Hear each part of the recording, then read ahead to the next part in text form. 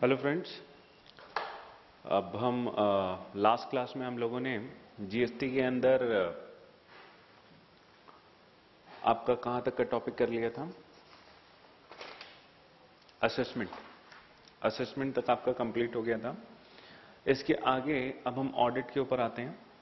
Audit के अंदर जो प्रोविजंस दिए गए हैं जीएसटी में these are not much uh, different from the provisions specified in the earlier laws.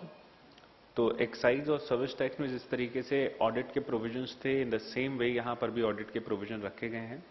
वहाँ पर भी जनरल ऑडिट और स्पेशल ऑडिट दो तरीके की ऑडिट हुआ करती थी और यहाँ पर भी जनरल और स्पेशल दो तरीके की ऑडिट के प्रोविजंस रखे गए हैं।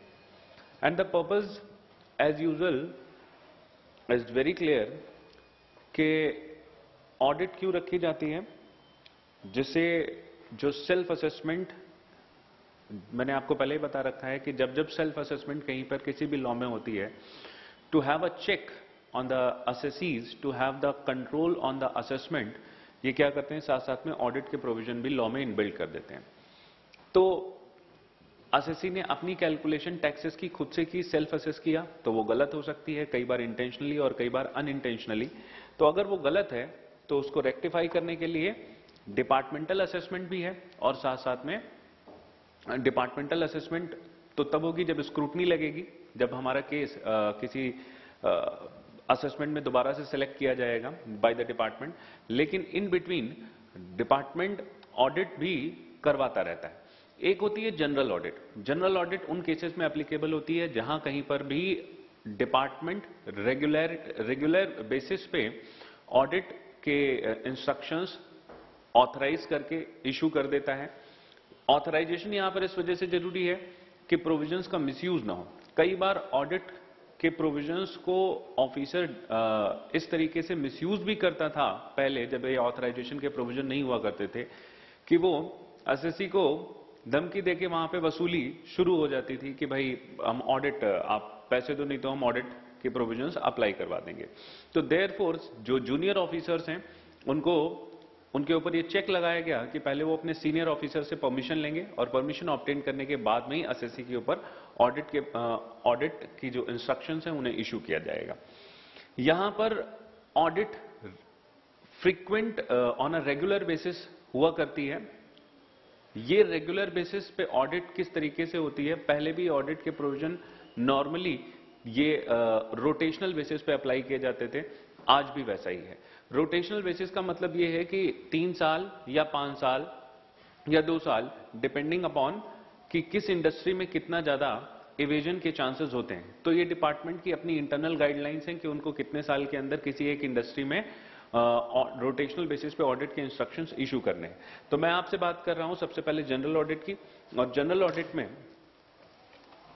जनरल ऑडिट के अंदर section 65 is applicable and section 65 says कि कमिश्नर ऑफ़ जीएसटी जो होगा, ये ऑथराइज करेगा by way of a general और special order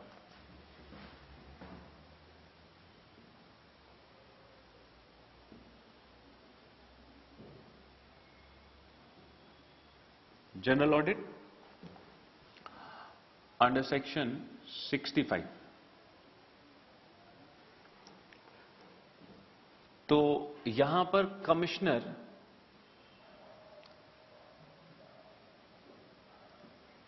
इंस्ट्रक्शंस देता है या ऑथराइजेशन देता है by way of either general order और स्पेसिफिक ऑर्डर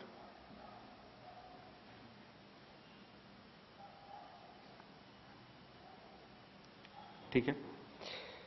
ये जनरल स्पेशल ऑर्डर या स्पेसिफिक ऑर्डर जिसे आप कह सकते हैं, ये कब दिए जाएँगे?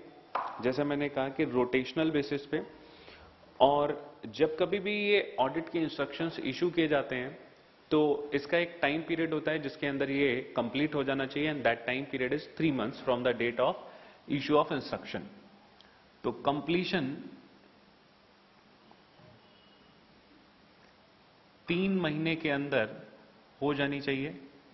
चूँकि ये डिपार्टमेंट की तरफ़ से ऑडिट होती है मतलब ये बाहर की कोई एजेंसीज ऑडिट नहीं करती हैं, जैसे सीएस या C A C S C W A जिनको ऑडिट के लिए ऑथराइज किया जाता था तो ये बाहर की एजेंसियाँ नहीं, बल्कि डिपार्टमेंट के इंटरनल जो ऑफिसर्स होते हैं, वही ऑडिट करते हैं। और रिपोर्टिंग भी किसको होगी? डिपार्टमेंटल ऑफिसर्स को ही रिपोर्टिंग भी होती है। तो इसकी रिपोर्ट डायरेक्टली एसएससी के पास में नहीं जाके, बल्कि डिपार्टमेंट के इंटरनल ऑफिसर्स के पास में जाती है। ये जो टाइम पीरियड है थ्री मंथ्स का this is extendable time period in case अगर टाइमली ऑडिट कंप्लीट नहीं हो पाती है तो अगेन इसी कमिश्नर से परमिशन लेके इस टाइम पीरियड को एक्सटेंड करके छह महीने तक बढ़ाया जा सकता है। अगर कभी भी ऑडिट हो रही है तो ऑडिट के लिए जो भी ऑडिटी है ऑडिटर तो ऑडिट करने आएगा ही आएगा, लेकिन ऑडिटर ऑडिट तभी कर पाएगा जब ऑडिटी, यानी कि जिसके यहाँ ऑडिट हो रही है, वो उसको sufficient facilities books of accounts और जो भी रेलिवेंट इंफॉर्मेशन एंड डॉक्यूमेंट्स है उनको अवेलेबल कराएगा। तो लॉ में it has been made specifically available it has been made specifically provided that कि असेसी और जो ऑडिटी है, he should make available all the facilities, he should make available all the relevant documents and the information for the purpose of the audit. ठीक है? इसके बाद में दूसरी अच्छा इसमें एक चीज़ और ये है, जब कभी भी ये ऑडिट होगी तो ये सरप्राइज़ ऑडिट नहीं होती है कोई। ठीक है?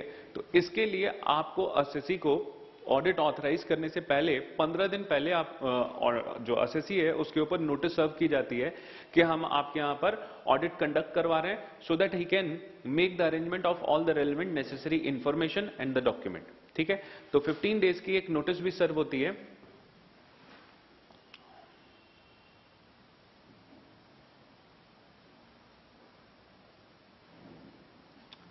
इसके बाद में फिर बात आती है स्पेशल ऑडिट की।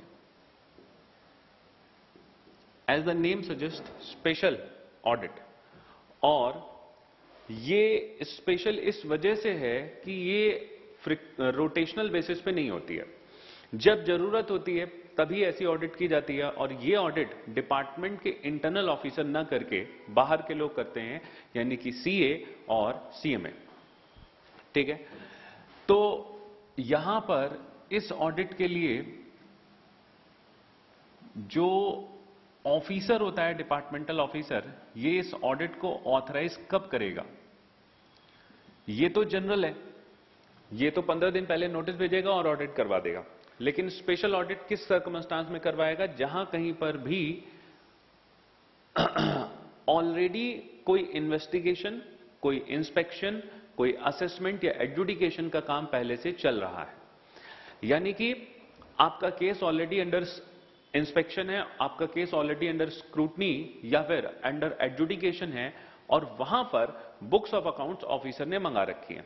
जब ऑफिसर आपकी बुक्स ऑफ़ अकाउंट देखता है तो considering the complex nature of the books of account because he is not the accounting guy and he is not the technical person who knows the debit credit entries and all तो he is unable to understand your books of account और considering the nature of the complexity of the books of account he can order the special audit ये पहले भी होता था, पहले excise में section 14 A 14 double A इसी के लिए हुआ करते थे।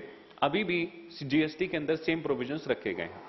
तो यहाँ पर ये ऑफिसर जो होगा, ये आपका असिस्टेंट कमिश्नर या डिप्टी कमिश्नर होगा और ये ऑडिट ऑथराइज किस कंडीशन के ऊपर करेगा considering the complexity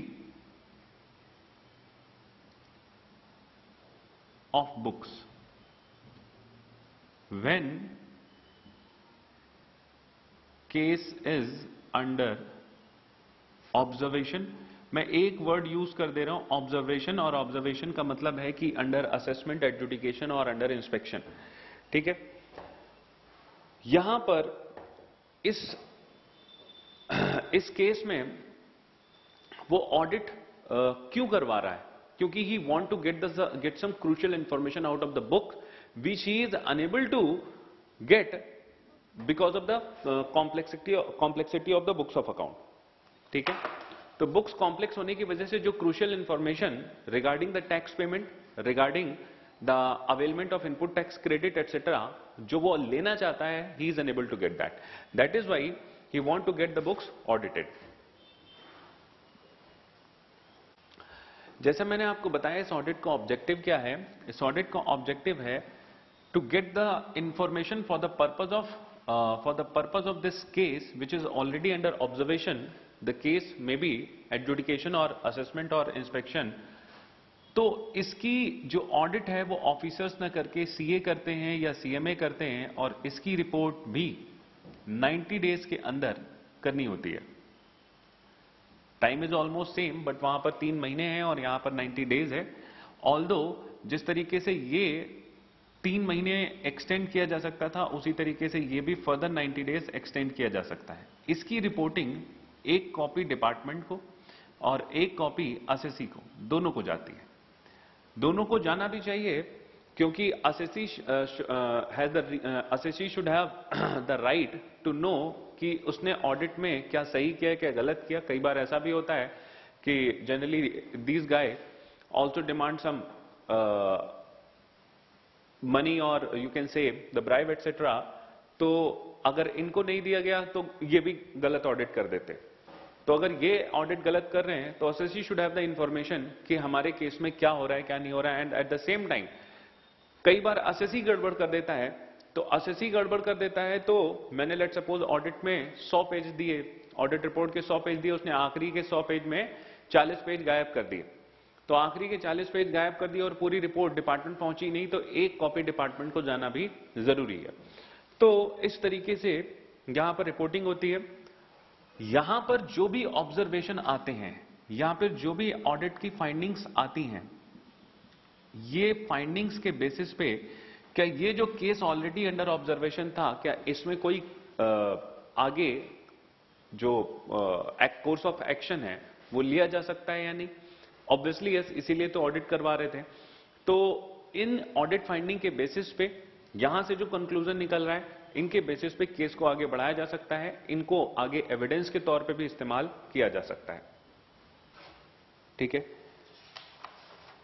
इसके बाद में नेक्स्ट टॉपिक है आपका inspection search seizure and arrest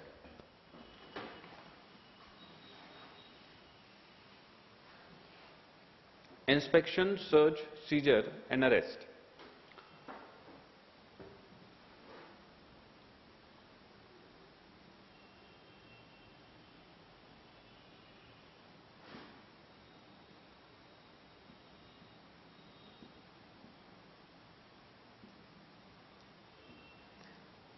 inspection search seizure and arrest के जो प्रोविजंस हैं ये भी पहले लॉज में थे। बहुत माइनर चेंजेस हुए हैं। प्रोसीजरल पार्ट जितना था वो ऑलमोस्ट सेम है। प्रोसीजरल पार्ट से मतलब जिस तरीके से नोटिस इशू होंगी जिस तरीके से ऑर्डर्स uh, इशू होंगे और अल्टीमेटली गुड्स सीज किए जाएँगे कन्फिस्केट किए जाएँगे या फिर उनको ऑक्शन करके सेल किया जाएगा और कब एसएससी को अरेस्ट किया जाएगा इसमें जितना भी प्रोसीजर इन्वॉल्व था वो लगभग लगभग सेम है। जो बदला है वो बदला है कुछ आ, सजाओं जो जो पनिशमेंट हो रही थी उन पनिशमेंट्स के प्रोविजंस कुछ बदले हैं कि कहीं पे सात साल की सजा थी तो उसको पाँच साल कर दिया है या कहीं पर दो साल की सजा थी उसको तीन साल कर दिया है। कहीं पर पेनल्टीज के जो अमाउंट थे इस कन्फिस्केशन में वो टैक्स के अमाउंट के बराबर थे तो उन्होंने वैल्यू ऑफ़ गुड्स के बराबर कर दिया है। But the procedural part is same तो यहाँ पे जब हम बात करें इंस्पेक्शन सर्च या सीजर की तो ये कब हो सकता है? इंस्पेक्शन सर्च या सीजर कब कब हो सकता है?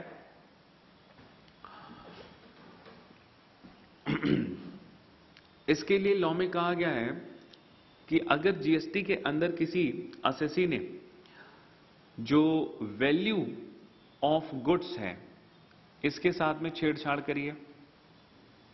वैल्यू ऑफ़ गुड्स और सर्विसेज़ मतलब जितनी होनी चाहिए थी, उतनी आपने नहीं डिक्लेयर कर रखी है। या फिर जो टैक्स पेबल आपका निकल रहा है, वो आपने नहीं डिपॉजिट किया है, या फिर दूसरे शब्दों में कहें, जितना टैक्स पेबल आ रहा है, उतना आपने अपना टैक्स नहीं असेस किया है। और ये तो हो गई टैक्स से रिलेटेड बात। दूसरी, क्रेडिट से रिलेटेड अगर हम बात करें तो जो क्रेडिट अवेलमेंट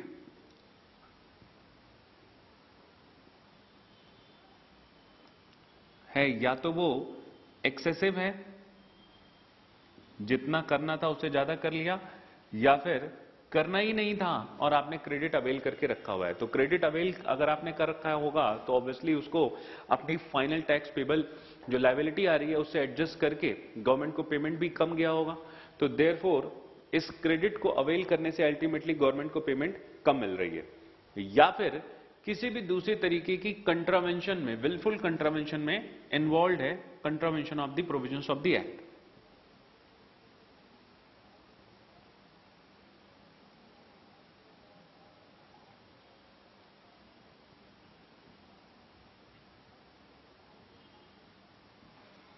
तो contravention of the GST provisions में अगर इन्वॉल्व है तो इन सभी केसेस में इंस्पेक्शन सर्च या सीजर ऑर्डर किया जा सकता है। ये इस कुछ स्पेसिफिक केसेस हो गए। इसके अलावा, ये तो उन लोगों की बात हो गई जो लोग ऑलरेडी इन गुड्स और सर्विसेज़ में डील कर रहे हैं। लेकिन कभी कभी बल्कि कई बार ऐसा भी होता है कि जो लोग गुड्स और सर्विसेज़ में डील कर रहे हैं, जो रजिस्टर्ड डीलर हैं, उनके अलावा भी कुछ लोग हैं जो इस तरीके के गलत काम में इन्वॉल्व होते हैं ऑल उनके काम ये नहीं होते। जैसे एग्ज़ाम्पल के तौर पर कोई गुड्स ऐसा गुड्स है जो टैक्स जिसके ऊपर पे होना चाहिए था बट नहीं हुआ। तो non tax non tax paid goods हैं, और ऐसे केस में इन गुड्स को स्टोर करने वाला जो स्टोर कीपर है, जो इस बात को जानता है कि ये माल नंबर दो में फैक्ट्री से बाहर निकला है, जो स्टोर कीपर है, जो इसका ट्रांसपोर्टर है they are not supplier but they are helping in the contravention of the provision of this act तो they will also be covered under this provision ये इंस्पेक्शन सर्च एंड सीजर के provision आपको section 67 के अंदर दिए गए हैं। और सेक्शन 67 में has been made specifically these provision has been made specifically applicable on the transporters on the store keepers on the warehouse keepers तो इनके ऊपर ये लॉ कब लगेगा? Any person engage in the business of transporting goods an owner operator of a warehouse or a go down or any other place. Is keeping the goods which have escaped the payment of tax. जिनको पता है कि बिना tax paid किए हुए goods इन्होंने रख रखे हैं, या फिर ये उनके ट्रांसपोर्टेशन में इन्वॉल्व है, या फिर किसी भी तरीके से इसकी कॉन्ट्रावेंशन में हेल्प कर रहे हैं तो इन सब के ऊपर ये प्रोविजंस लग सकते हैं। अच्छा प्रोविजंस एप्लीकेबल होने का मतलब इनके यहाँ पर भी इंस्पेक्शन हो सकती है, इनके यहाँ पर भी सर्च हो सकती है और सीजर हो सकता है। ये इंस्पेक्शन सर्च या सीजर ऐसे ही नहीं हो जाता, इसको भी कंसर्न ऑफिसर ऑथराइज करता है। इसको जब कंसर्न ऑफिसर ऑथराइज करेगा तो जीएसटी के अंदर ये एक स्पेशल बात है comparing to the previous laws कि इन्होंने हर चीज़ के फॉर्मेट बना रखे हैं। लेके परमिशन ऑर्डर नोटिस हर चीज़ का एक स्पेसिफिक फॉर्मेट है। उसी फॉर्मेट के अंदर ऑफिसर सारे के सारे काम करेगा। पहले जो डॉक्यूमेंटेशन हाथ से बनानी होती थी या उसमें कुछ ऊपर नीचे हो जाता था, वो सारी चीज़ें खत्म हो गई। और चूँकि ये स्टैंडर्डाइज है, इसी वजह से ऑनलाइन है। ऑनलाइन हर चीज़ के फॉर्मेट दे दिए गए हैं और हर चीज़ के फॉर्मेट में सिर्फ़ और सिर्फ़ आपको फिल इन द ब्लैंक करना है और फॉर्मेट चाहे वो नोटिस का हो ऑर्डर का हो इंस्ट्रक्शंस का हो ऑथराइजेशन का हो, सब कुछ कंप्लीट तो स्टैंडर्डाइज फॉर्मेट अवेलेबल है। इसके भी ये ऑथराइजेशन जाएगी GST GST INS inspection zero one में। ये फॉर्म नेम है। जीएसटी आईएनएस ज़ीरो वन में ये ऑथराइजेशन इश्यू होगी। अच्छा जिसको भी ऑथराइज किया जाएगा, ये तो ऑथराइजेशन होगी। अब ये ऑफिसर क्या करेगा? इंस्पेक्शन करेगा सर्च एंड सीजर करेगा। इंस्पेक्शन या सर्च एंड सीजर जब ये करेगा तो इसका भी एक ऑर्डर पास करेगा। जब ये रेड डालने जाता है, छापा करने, छापा डालने जाता है तो वहाँ पर ये ऑर्डर पास करता है जीएसटी आईएनएस ज़ीरो टू में, और ये ऑर्डर देकर ही कोई भी गुड्स कन्फिस्केट कर सकता है या सीज कर सकता है। ठीक है? अच्छा you must know the difference between the contravention uh, difference between the confiscation and the seizure seizure में क्या होता है just taking the possession of some goods or a things taking the possession of the goods or a things लेकिन हम किसी चीज़ का position ले लें या किसी चीज़ को उठा लाएँ तो उससे वो चीज़ हमारी नहीं हो जाएगी तो ownership still remains with the assessee हम सिर्फ़ उठा के लाते हैं छापा डाला सामान उठा लाए लेकिन अभी भी the ownership still belongs to that particular person जिसके यहाँ से हम ये गुड्स उठाकर लेके आए हैं। But the under the confiscation part confiscation के अंदर क्या होगा? Even the ownership also transfer to the department now the department can sell the goods at their will कि उसे कब बेचना है, रखना है, क्या करना है? कन्फिस्केशन में ओनरशिप ही पूरी ट्रांसफ़र हो जाती है। अच्छा ये जो सर्च एंड सीजर का ऑर्डर है, ये हर चीज़ के लिए पास नहीं हो सकता। जैसे एग्जांपल के तौर पे लेट सपोज़ जो असेसी है वो सेफ़ बनाता है, तिजोरी। या एलमिराज बनाता है तो जब वो सेफ़ एलमिराज या तिजोरी बनाता है तो ऐसे सभी केसेस में क्या होगा? ऐसे सभी केसेस में वो गुड्स हैवी होंगे, क्योंकि एक एक सेफ़ कई कई क्विंटल्स की होती है।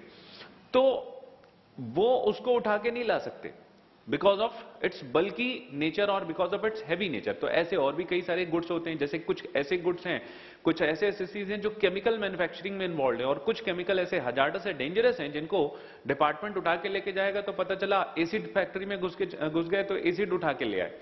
तो उसको कहाँ रखेंगे? तो being considering the hazardous nature of the goods या considering the bulky nature of the goods they can't seize everything तो इन दैट सिचुएशन जब वो सीज नहीं कर सकते तो वो एक दूसरा ऑर्डर पास करते हैं in the GST INS zero three GST INS zero three में ये क्या करते हैं? ये ऑर्डर ऑफ़ प्रोहिबिशन पास करते हैं।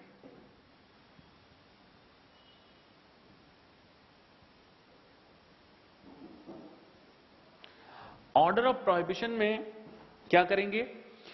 ये ऑर्डर वहाँ पर चिपका के आते हैं कि लेट सपोज़ जिस किसी भी रूम में या जिस किसी भी फैक्ट्री में ये गुड्स रखे हुए हैं, सीधे बाहर ताला लगाते हैं। गवर्नमेंट सील लगाते हैं और बाहर एक ऑर्डर चिपका देते हैं कि यहाँ पर हमने जीएसटी ज़ीरो थ्री में ऑर्डर पेश कर दिया और इसमें साफ़ साफ़ लिखा होगा कि इन गुड्स से अब कोई डील नहीं कर सकता। परचेज, सेल, स्टोरेज, मेंटेनेंस कुछ नहीं हो सकती until the depart until the involvement और until the permission obtain from the departmental officers इसके बाद में जब ये सीजर करने जाते हैं, जब ये सर्वे करने जाते हैं सर्च करने जाते हैं तो जितना भी आइटम मिला, उसका पूरा रिकॉर्ड तैयार करते हैं, उसकी इन्वेंट्री बनाते हैं। तो उसकी जो इन्वेंट्री बनाई जाएगी, ये इन्वेंट्री के अंदर सारी डिटेल अवेलेबल होगी कि कौन कौन से गुड्स थे, किस डिस्क्रिप्शन के गुड थे, कितनी क्वांटिटी थी, क्या वैल्यू थी, इनके ऊपर क्रेडिट लिया गया था, नहीं लिया गया था। या फिर इनकी बिलिंग हुई थी, नहीं हुई थी सोल्ड आउट रखे हुए हैं, या फिर जो है अभी बिकना बाकी है तो ये सारी डिटेल आपको उस इन्वेंट्री के अंदर मिलेगी। अगर किसी भी पर्सन को ये जो गुड्स हैं, इनको अगर रिलीज़ कराना है चूँकि अब गुड्स तो सीज होके चले गए। गुड्स सीज होके चले गए या फिर ऑर्डर ऑफ़ प्रोहिबिशन लग गया उसके ऊपर, और अब अब इनको हमें छुड़ाना है चाहे टैक्स जमा करके छुड़ाना है या फिर ये प्रूव करके छुड़ाना है कि साहब ये तो टैक्स पेड गुड्स हैं। तो ऐसे केस में हमें इन गुड्स के ऊपर जो अमाउंट ऑफ़ टैक्स है, जो अमाउंट ऑफ़ टैक्स है या फिर जो वैल्यू ऑफ़ गुड्स है, उसको डिपॉजिट कराना पड़ेगा considering the different situation let suppose पहले हम बात करते हैं नॉन पेरिशेबल गुड्स की।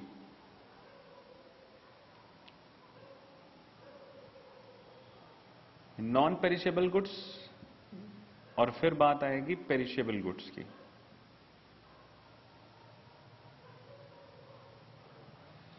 नॉन पेरिशेबल गुड्स के केस में इन गुड्स को छुड़ाने के लिए जीएसटी आईएनएस फोर यूज़ किया जाता है। और यहाँ पर जो भी amount of tax plus interest plus penalty involve हैं, इनको इस बॉन्ड में जमा करा के हम गुड्स को छुड़ा सकते हैं। बॉन्ड के साथ में जो सिक्योरिटी सिक्योरिटी जमा होगी वो कितने रुपए के बराबर की होगी? वो होगी टैक्स प्लस इंटरेस्ट और पेनल्टी। ये बॉन्ड का फॉर्म है। Tax plus interest plus penalty. ठीक है? तो जीएसटी आईएनएस ज़ीरो फोर में लेट सपोज़ एक करोड़ रुपए का माल हमारा जब्त हुआ और इस एक करोड़ रुपए के माल के ऊपर 18 परसेंट से 18 लाख रुपए की जीएसटी बनती थी। तो 18 लाख रुपए की तो जीएसटी होगी प्लस 18 लाख रुपए के ऊपर का इंटरेस्ट प्लस 18 लाख रुपए के ऊपर जो भी पेनल्टी का अमाउंट लग रहा है अंडर द रिस्पेक्टिव लॉज तो उतने अमाउंट के बराबर का एक बॉन्ड जमा किया जाएगा long with the security security जो आई एन में होगा और तब हमारे गुड्स रिलीज़ कर दिए जाएँगे। ये तो नॉन पेरिशेबल गुड्स के केस में होगा। बट अगर गुड्स पेरिशेबल हैं तो ऐसे गुड्स को डिपार्टमेंट रख के भी क्या करेगा जो पता चला चार दिन में खराब हो गए? ठीक है? तो एसएससी तो उसको छुड़ाने भी नहीं आएगा। क्यों? क्योंकि ऐसी सिचुएशन में कहेगा कि इस गुड्स की वैल्यू ही उतनी नहीं रहेगी जिसको हम छुड़ाने जाए। क्योंकि पेरिश, पेरिशेबल गुड्स हैं खराब हो जाएँगे। तो ऐसे केस में डिपार्टमेंट क्या कहता है कि हम वैल्यू ऑफ़ गुड्स यहाँ पर तो सिर्फ़ टैक्स इंटरेस्ट पेनल्टी था लेकिन पेरिशेबल गुड्स के केस में हम वैल्यू ऑफ़ गुड्स पूरी वसूल लेंगे, क्योंकि ऐसा हो सकता है तीन दिन के बाद में, चार दिन के बाद में उस गुड्स की उतनी वैल्यू नहीं रह जाएगी तो देर वैल्यू ऑफ़ गुड्स या फिर amount of tax interest and penalty जो भी दोनों में से कम होगा, उतने अमाउंट के बराबर की हमें पेमेंट करवानी पड़ेगी।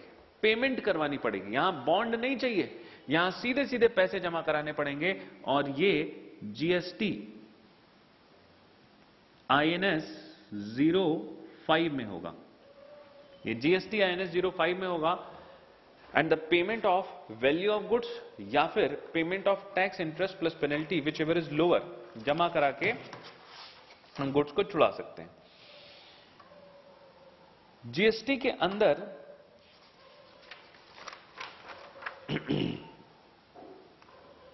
अरेस्ट के प्रोविज़न सेक्शन 69 में दिए गए हैं। अरेस्ट कब होगा? जब कोई ऑफेंस कमिट होगा। अरेस्ट कब होगा? जब कोई ऑफेंस कमिट होगा, सेक्शन 69 में, और देखते हैं कौन कौन से ऑफेंस यहाँ पर बताए गए हैं। चार अलग अलग तरीके के ऑफेंसेस बताए गए हैं सेक्शन 69 में।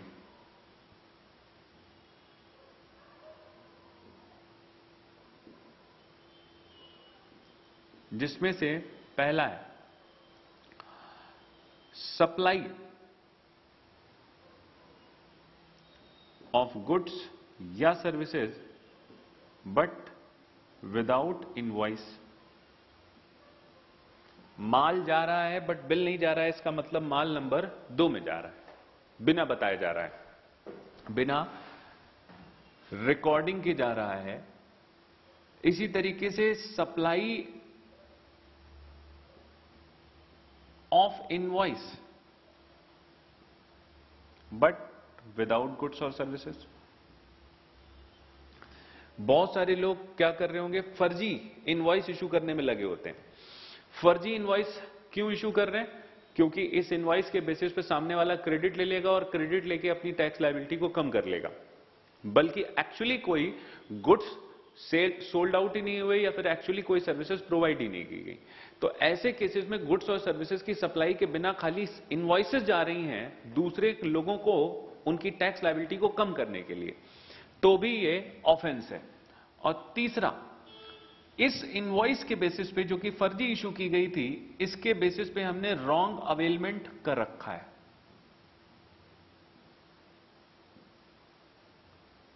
Wrong availment of GST credit जब इनवाइस ही फर्जी थी तो इसका मतलब लेने वाले को भी पता है, क्योंकि वो भी तो माल ले नहीं रहा है, सिर्फ़ और सिर्फ़ इनवाइस ले रहा है, और देने वाले को भी पता है कि वो सिर्फ़ इनवाइस दे रहा है और माल दे नहीं रहा है। तो इन दोनों को ही सेकेंड और थर्ड पॉइंट में फंसा दिया जाएगा। इसके अलावा, चौथे में वो सभी केसेस आ जाएँगे जो नॉन पेमेंट ऑफ़ जीएसटी में इन्वॉल्व है।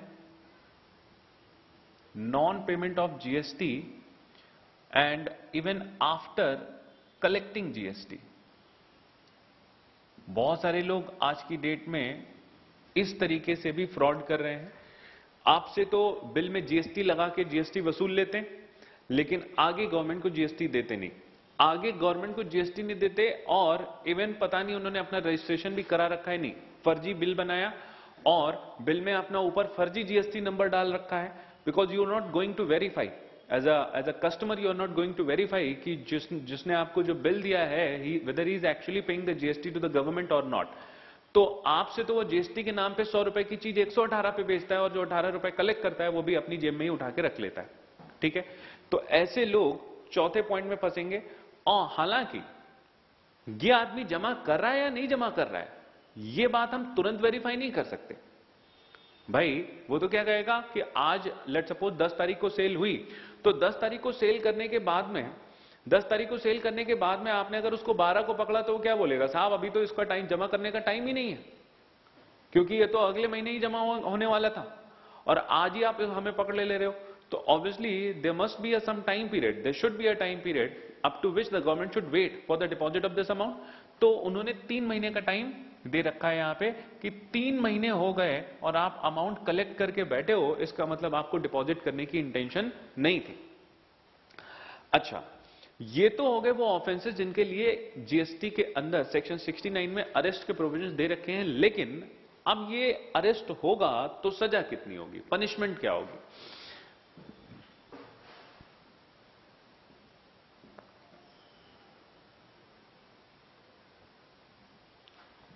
पनिशमेंट डिपेंड करती है कि कंट्रावेंशन फ़र्स्ट टाइम हुआ है या सब्सिक्वेंट मतलब आप समझ रहे हैं?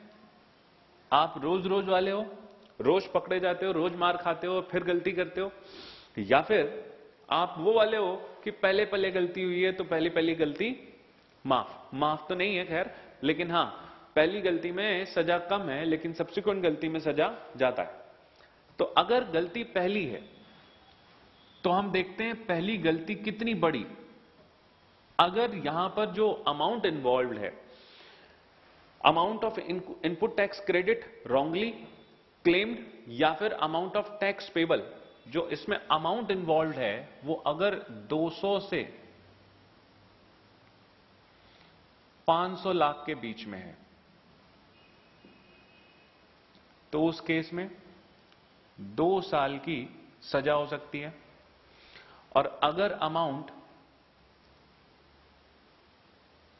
जो इन्वॉल्व है वो अगर 500 लाख से भी ज़्यादा का है। अमाउंट इन्वॉल्व का मतलब वैल्यू ऑफ़ गुड्स से नहीं है। अमाउंट इन्वॉल्व का मतलब ये जो जितना जीएसटी का क्रेडिट है या फिर जो भी टैक्स पेमेंट की बात हो रही है, वो अमाउंट अगर 500 लाख से भी ज़्यादा का है तो यहाँ पर पाँच साल की सजा हो सकती है।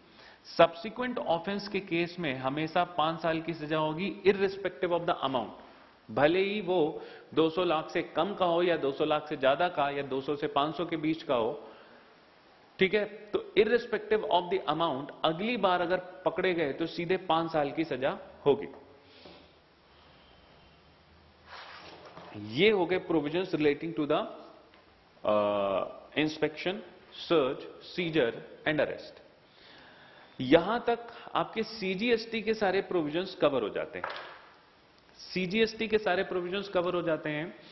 मोटा मोटा।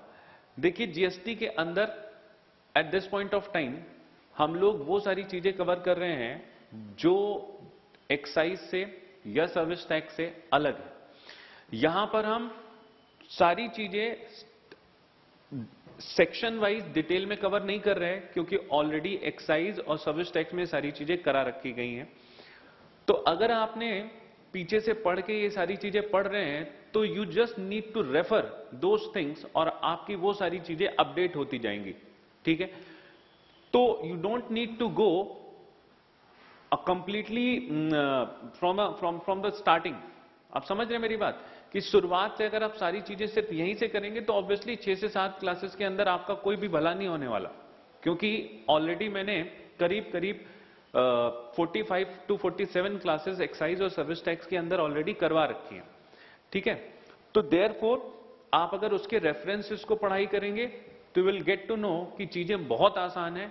कुछ भी इसके अंदर आपको ज़्यादा मेहनत करने की ज़रूरत नहीं है। क्योंकि मैंने शुरुआत में ही बताया था GST is nothing but it is a old wine in a new bottle ठीक है ना? अब हम आते हैं सीजीएसटी के बाद में आईजीएसटी पे। अब मैं आपको आईजीएसटी के वो सारे प्रोविज़न करा रहा हूँ जो नए हैं और जो पीछे से क्योंकि आईजीएसटी लॉ ही नया है तो देयरफॉर इसमें वो सारे प्रोविज़न हम लोग डिस्कस कर रहे हैं जो सीजीएसटी से अलग है। एक्चुअली आईजीएसटी मैंने शुरुआत में भी बताया था सीजीएसटी आईजीएसटी एसजीएसटी और यूटीजीएसटी ये जो चार लॉ बने हैं, इनके 90 परसेंट प्रोविज़न एकदम सेम है। तो अब हम अब हम वो सारे प्रोविज़न जो सिर्फ़ करेंगे, जो सीजीएसटी के अंदर नहीं थे, जो सिर्फ़ आईजीएसटी के अंदर नए हैं तो देर अब हम आते हैं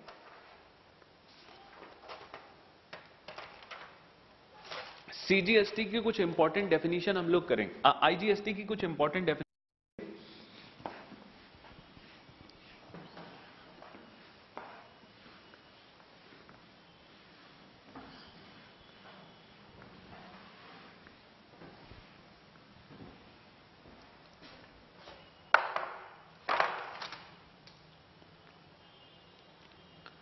मैंने शुरुआत में आपको बताया था कि इंट्रा स्टेट सप्लाई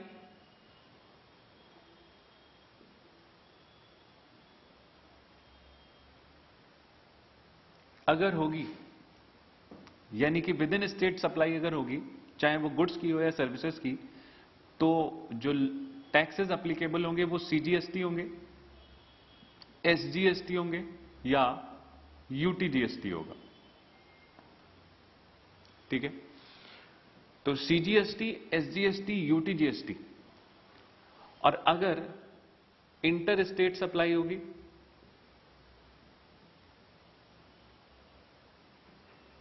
तो इंटर स्टेट सप्लाई के अंदर इंटर स्टेट सप्लाई के अंदर हमेशा आईजीएसटी लगेगा। यहाँ पे आप ऐसे कह सकते हैं, सेंट्रल तो लगना ही लगना है तो सेंट्रल के साथ में या तो स्टेट लग रहा होगा, या फिर यूनियन टेरिटरी लग रहा होगा। ठीक इंटर स्टेट सप्लाई के केस में। जबकि इंटर स्टेट सप्लाई के केस में हमेशा आईजीएसटी लगना ही लगना है। तो अब आईजीएसटी को डिटेल में और अच्छे से समझने के लिए यहाँ पे मैं आपको कुछ डेफिनेशंस कराने वाला हूँ। कब पता चलेगा कि इंटर स्टेट सप्लाई हुई है?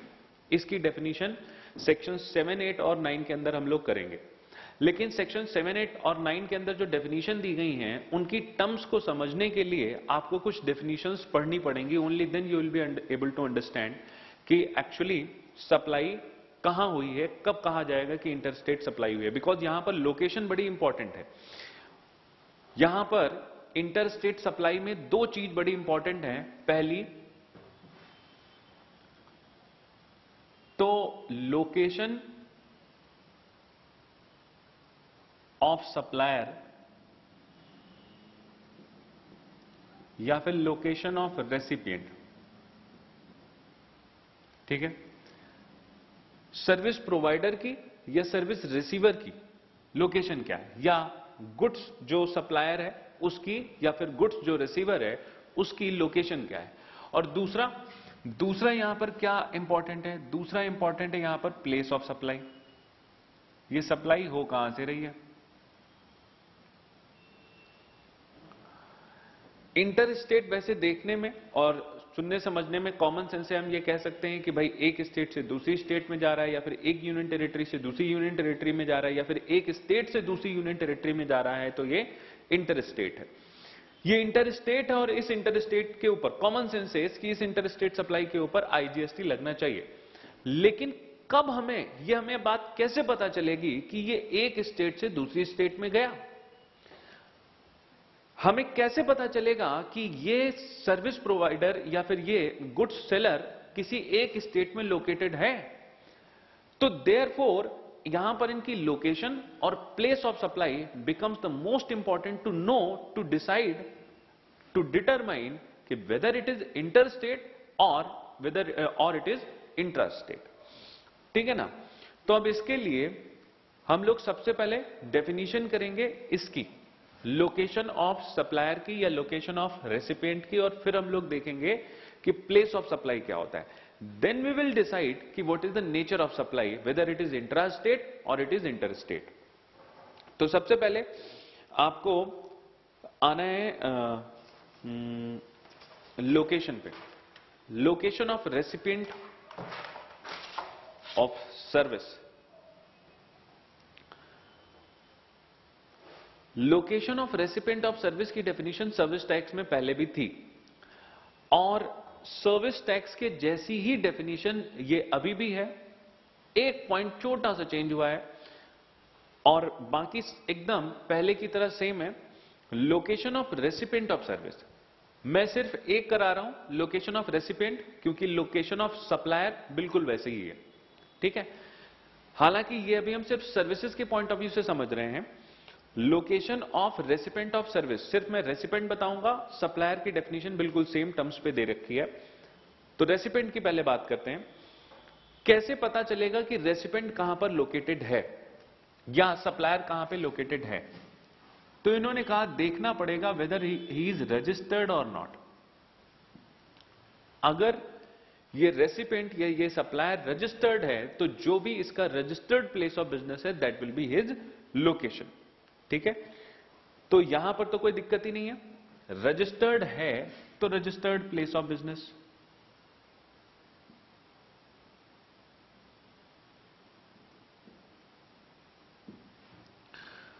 कई बार ऐसा भी होता है कि रजिस्टर्ड तो है, लेकिन रजिस्टर्ड होने के साथ साथ में वो कई लोकेशंस पे काम कर रहा है। और इसकी किसी एक जगह पर फिक्स स्टैब्लिशमेंट है। ये fix establishment normal registered place of business से किस तरीके से अलग होती है? जहाँ पर सप्लाई प्लेस ऑफ़ बिज़नेस पे नहीं हो रही।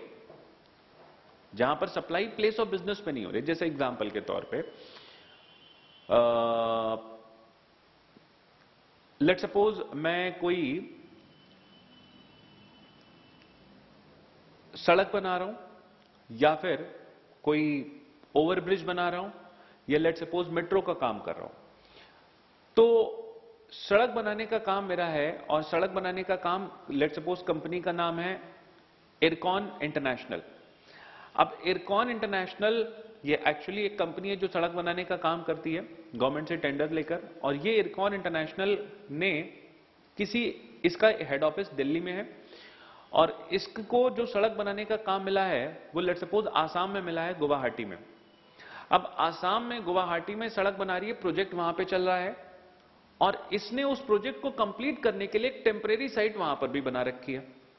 ठीक है? जहाँ पर ये लोग कंक्रीट मिक्सिंग का काम करते हैं जहाँ पर ये लोग अपनी बाकी सारी सर्विस क्योंकि फॉर द टाइम बिंग जब तक ये प्रोजेक्ट कंप्लीट होता है, इनको एक अपनी टेम्परेरी साइट वहाँ पर भी स्टेब्लिश करनी होती है। तो we are talking about that temporary site although that is not that much temporary ऐसा नहीं कि ये बस दो चार दिन की। यहाँ पर भी ये साइट सालों काम करेगी, क्योंकि ये प्रोजेक्ट बड़ा है, और इस प्रोजेक्ट में जो हमें हज़ारों किलोमीटर्स की सड़क बनानी है तो वहाँ पर हमें उसको पूरा करने के लिए एक टेम्परेरी साइट साल, दो साल, तीन साल, और ये हो सकता है चार, पाँच साल के लिए भी रखनी पड़े।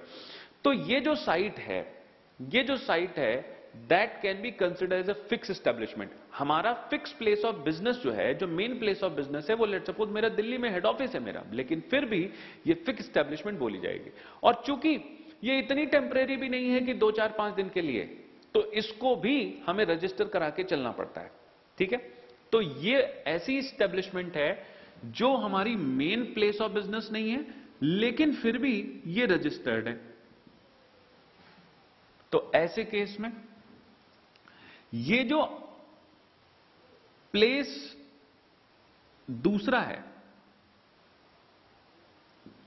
प्लेस ऑफ़ फिक्स स्टैब्लिशमेंट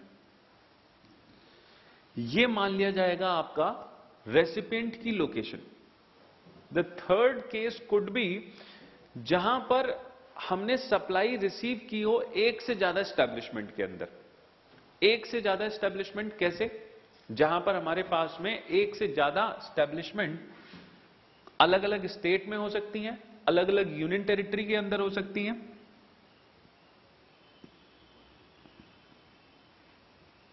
अगर case more than one establishment का है तो क्या होगा?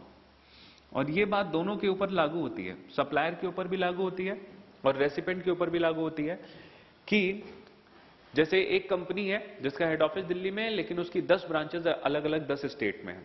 तो ये सब क्या हो गई? मेन प्लेस ऑफ़ बिज़नेस एक है, लेकिन एक से ज़्यादा स्टैब्लिशमेंट और ऑब्वियसली ये सारी जो स्टैब्लिशमेंट एक से ज़्यादा है, ये भी रजिस्टर्ड है। तो यहाँ पर कोई सर्विस प्रोवाइडर है let suppose he is a chartered accountant and he has taken the work of audit of entire company तो अगर वो पूरी कंपनी की ऑडिट कर रहा है तो उसको अपनी अलग अलग दसों लोकेशन पे जाके भी ऑडिट करनी है। और जब वो अलग अलग दस लोकेशन पे जाके सर्विस प्रोवाइड करेगा तो जो उसका रेसिपिएंट होगा, जिसकी एक से ज़्यादा स्टेट के अंदर ब्रांच एक से ज़्यादा स्टेट स्टेट के अंदर जो वर्किंग फैक्ट्रीज या ऑफ़िस या फिर ब्रांचेज हैं तो वो किसको बोलेगा कि किसको सर्विस प्रोवाइड कर रहा है? Because he is working for more than one locations तो ऐसे केस में लॉ सेज कि कोई एक ऐसी जगह होगी जहाँ पर उसकी सर्विसेज़ सबसे ज़्यादा प्रोवाइड हो रही होंगी, या फिर जहाँ से उसकी सर्विसेज़ सबसे ज़्यादा लिंक हो रही होंगी। और ऑब्वियसली जनरली वो लोकेशन उसकी हेड ऑफ़िस होगी। लेकिन हमेशा हम ये नहीं कह सकते कि वही होगी। That depends on on the case to case basis but generally जो उसकी लोकेशन होगी, वो उसकी हेड ऑफ़िस होगी। तो ऐसे केस में क्या होगा? जहाँ पर मोर देन वन स्टैब्लिशमेंट का केस है तो ये वो वाली स्टैब्लिशमेंट होगी which is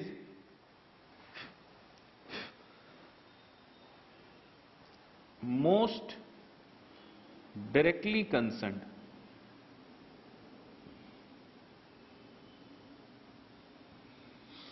which is the most directly concerned with the provision of service or with the supply of goods or in the absence of all such places. Fourth and the last condition कि पहला भी नहीं है मतलब single place of business भी नहीं है, जो कि रजिस्टर्ड हो। दूसरा अदर स्टेब्लिशमेंट वाला केस भी नहीं है। और तीसरा, एक से ज़्यादा स्टेब्लिशमेंट वाला केस भी नहीं है। तो एनी अदर केस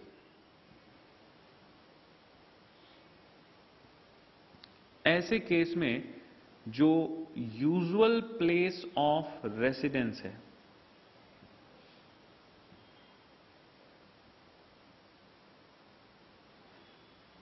जो यूजुअल प्लेस ऑफ़ रेसिडेंस है, ये मान लिया जाएगा रेसिडेंस ऑफ़ सप्लायर और the recipient as the case में भी क्योंकि हम दोनों की बात कर रहे हैं सप्लायर और recipient usual place of residence क्या होता है? अलग अलग लोगों के केस में अलग अलग होगा। बताइए, अगर कोई कंपनी है तो कंपनी के केस में उसका यूजुअल प्लेस ऑफ़ रेसिडेंस क्या होगा? उसका रजिस्टर्ड ऑफ़िस होगा। ध्यान रखिए रजिस्टर्ड का मतलब ये नहीं है कि वो यहाँ पे रजिस्टर्ड है।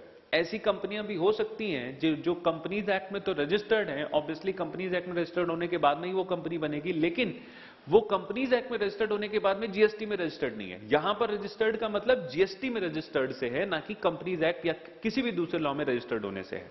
बात समझ में आ रही है आपको? तो वो यहाँ रजिस्टर्ड नहीं है तो मतलब अनरजिस्टर्ड है। तो ऐसी कंपनी जो यहाँ रजिस्टर्ड नहीं है और वो एनी अदर केस में आ रही है तो उसका यूजुअल प्लेस ऑफ़ रेसिडेंस क्या मान लिया जाएगा? उसका रजिस्टर्ड ऑफ़िस मान लिया जाएगा। बट अगर लेट सपोज़ नहीं है वो वो कोई इंडिविजुअल है तो इंडिविजुअल नॉर्मली जहाँ पे रहता है एक से ज़्यादा एक, एक साल में कुछ मेजोरिटी ऑफ़ द टाइम जहाँ पर वो अपना टाइम स्पेंड करता है तो वो उसका यूजुअल प्लेस ऑफ़ रेसिडेंस मान लिया जाएगा। तो यहाँ पर एक बात तो आपने अच्छे से समझ ली कि what should be the location of recipient uh, या फिर लोकेशन ऑफ़ सप्लायर अब बात आती है प्लेस ऑफ़ सप्लाई की. प्लेस ऑफ़ सप्लाई के लिए आपको यहाँ पे सेक्शन नंबर टेन दे रखा है. Section number ten place of supply of goods के लिए और सेक्शन नंबर टेन के बाद में सेक्शन नंबर ट्वेल्व जो है वो place of supply of services के लिए. इन दोनों को आपको देखना है. And both of these sections are most important for your examination as well क्योंकि इनके ऊपर अपना एक स्पेसिफिक क्वेश्चन भी आ सकता है कि what is the place of supply और यहाँ पर आपसे छोटे छोटे प्रैक्टिकल क्वेश्चन भी बना के पूछे जा सकते हैं, जहाँ पर आपसे वो कह सकते हैं, एक छोटा सा केस बनाएँगे और आपसे पूछेंगे कि बताइए इस पर्टिकुलर केस में what should be treated at the place of supply तो therefore these two sections are the most important for your examination तो इनको भी आपको बहुत ध्यान से करना है।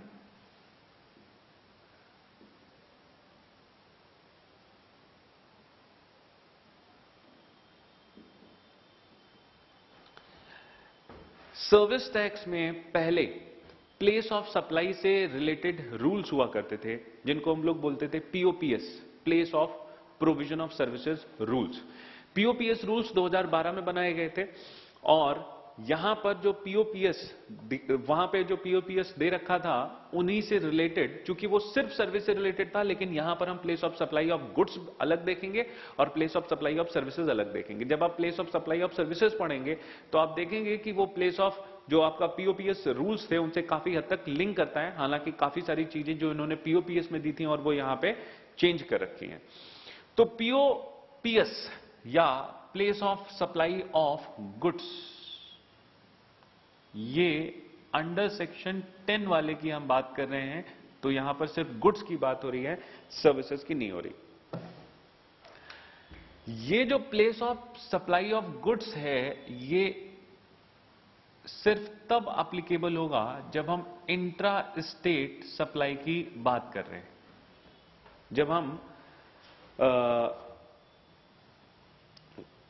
सॉरी इंट्रा स्टेट नहीं है, जब हम सप्लाई की बात कर रहे हैं but other than export other than import और एक्सपोर्ट ठीक है? तो ऐसे केस में सप्लाई की लोकेशन क्या होगी? पहला केस दे रखा है जहाँ पर मूवमेंट ऑफ़ गुड्स हो रही है।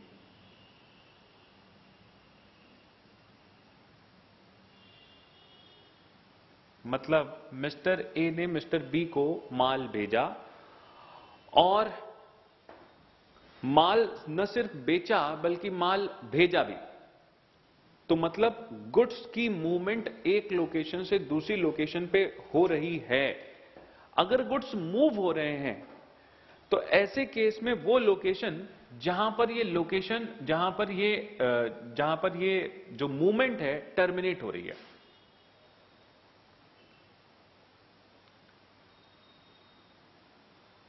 where movement terminates. इसको आपको ध्यान से आप समझना है। What is the logic behind this termination of movement तो considering the this first point now come to come come to the conceptual part why it is so देखिए जीएसटी के अंदर जो बेसिक कंसेप्ट है that is GST is destination based consumption tax destination based means the ultimate destination is relevant where the goods are being consumed और where the services are being consumed ठीक है?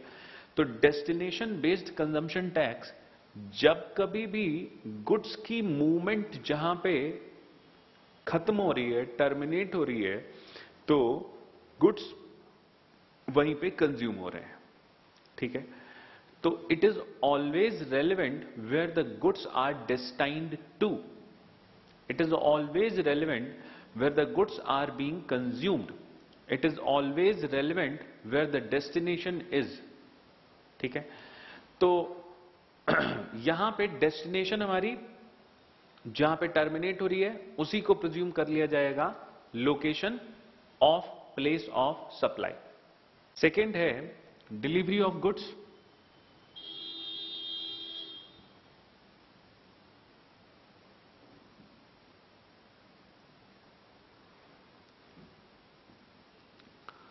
by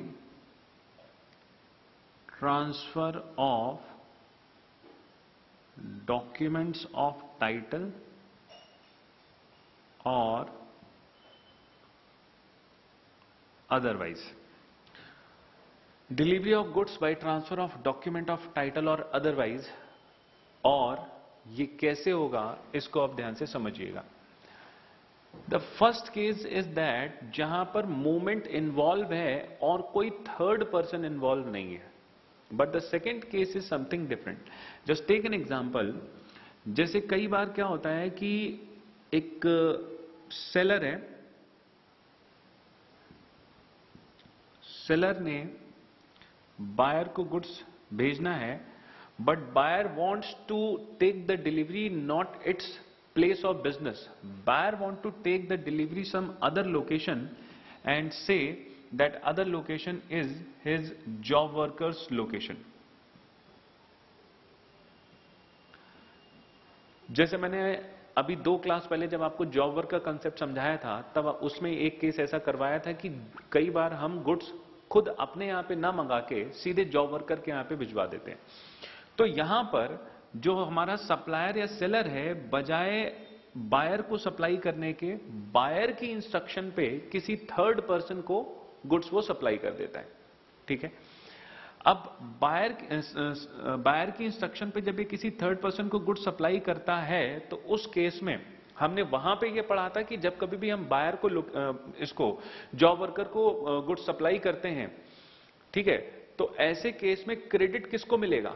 इस goods का credit, input credit किसको मिलेगा? Buyer को ही मिल जाएगा, भले ही वो गुड्स को अपने आप पर रिसीव ना भी करे, ये बात हमने जॉब वर्कर वाले कॉन्सेप्ट में पढ़ी थी।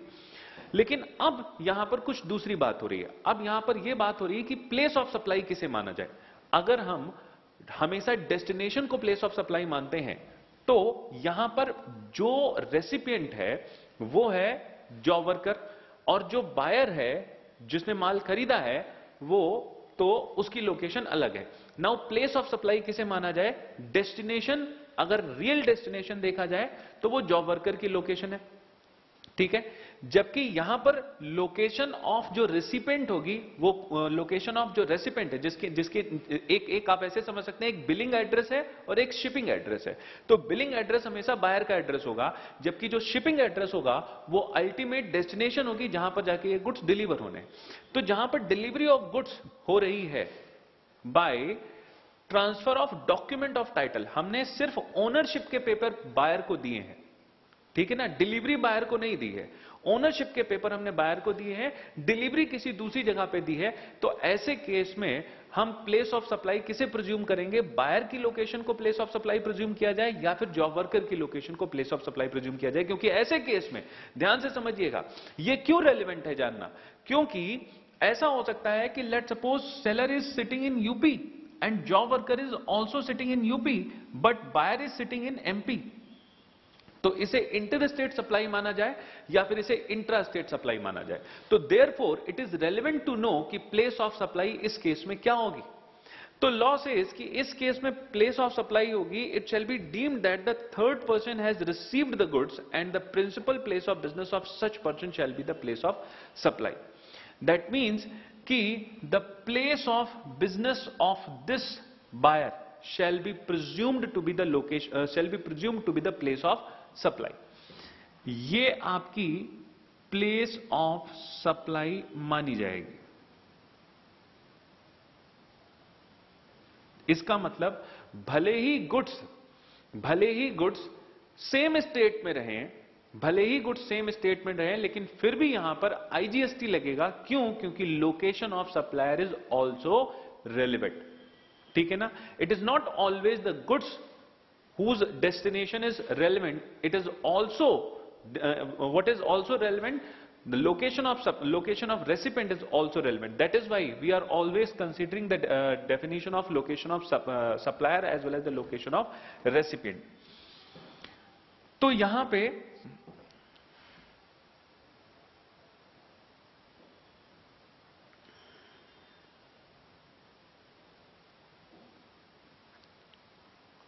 सेकेंड केस आ गया आपका।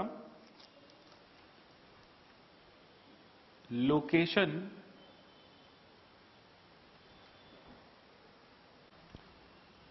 और place of business of buyer ठीक है। Now come to the third part third case है supply not involving the movement of goods मैं इसको इधर कर दे रहा हूँ।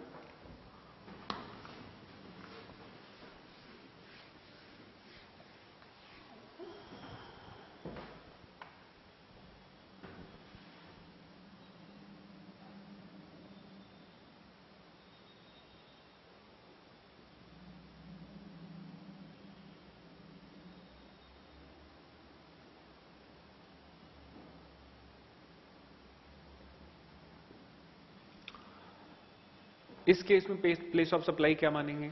अच्छा ये ऐसा कब होगा कि गुड्स की मूवमेंट ना हो, लेकिन फिर भी गुड्स की डिलीवरी हो जाए, या फिर भी गुड्स की सेल हो जाए? जैसे इसी केस को ले लेते लेट सपोज़ एक मैन्युफैक्चरर है। इस मैन्युफैक्चरर ने जॉब वर्कर को कुछ गुड्स भेज रखे हैं। ठीक है? तो manufacturer has already send the goods to the job worker लेकिन मैन्युफैक्चरर ने जब जॉब वर्कर को गुड्स भेजे तो वो प्रोसेसिंग के लिए भेजे थे। ठीक? तो जॉब वर्कर की लोकेशन मान लेते हैं, ये यूपी में है और ये एमपी में है। और गुड्स सेल के लिए नहीं गए थे प्रोसेस के लिए गए थे। अब, इसके पास में गुड्स हैं। बट ये गुड्स इसके नहीं है, इसको बेचने के लिए रखे गए हैं या फिर वापस भेजने के लिए रखे गए हैं या फिर यहाँ से किसी दूसरे को बेचने के लिए रखे गए हैं। लेकिन इसको खुद से इस गुड्स की ज़रूरत पड़ती है। और गुड्स ऑलरेडी इसके पास में है, लेकिन इसके नहीं है। तो ऐसे केस में क्या होगा, सिर्फ़ और सिर्फ़ सिर्फ़ और सिर्फ़ यहाँ से यहाँ तक बिलिंग चाहिए हमें। बिलिंग रिक्वायर्ड है but delivery is not required because the goods is already available with that person तो goods not supply not involving the movement of goods ऐसे केस में सिर्फ़ बिल जाएगा बट गुड्स की कोई मूवमेंट नहीं होगी। इसी तरीके से आप दूसरा एग्ज़ाम्पल ले सकते हैं। जब कभी भी सेल्स होती है ऑन अप्रूवल बेसिस तो यहाँ पर हम गुड्स पहले से भेज चुके होते हैं और गुड्स ऑलरेडी बायर के पास में होते हैं, लेकिन गुड्स की सप्लाई प्रिज्यूम नहीं की जाती। गुड्स की सप्लाई प्रिज्यूम नहीं की जाती। इस केस में क्या होगा, जब गुड्स पहले से हैं और आपको सिर्फ़ और सिर्फ़ अब बिलिंग करनी बाकी है तो यहाँ पर भी आप कह सकते हैं कि this is the sale which is in which the supply is not involving the movement of goods तो ऐसे सभी केसेस में क्या किया जाए? यहाँ पर लॉ कहता है कि location of goods at the time of delivery to the recipient. यहाँ पर लोकेशन ली जाएगी, प्लेस ऑफ़ सप्लाई होगी, location of goods at the time of delivery.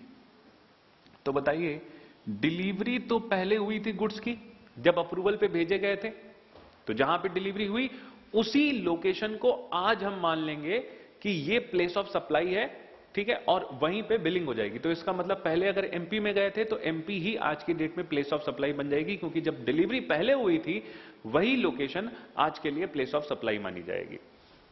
ठीक है? चौथा केस है इंस्टॉलेशन या असेंबली के केस में।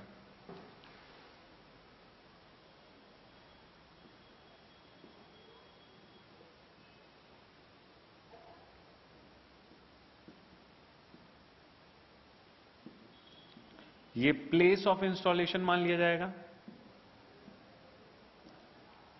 कई बार छोटे छोटे goods parts of a big machine भेजे जाते हैं एक पर्टिकुलर लोकेशन पे उसको इंस्टॉल करने के लिए तो जहाँ पर ये इंस्टॉलेशन हो रही है, वही प्लेस ऑफ़ सप्लाई है। Now it is irrespective of the fact कि वो प्लेस ऑफ़ बिज़नेस है या नहीं है।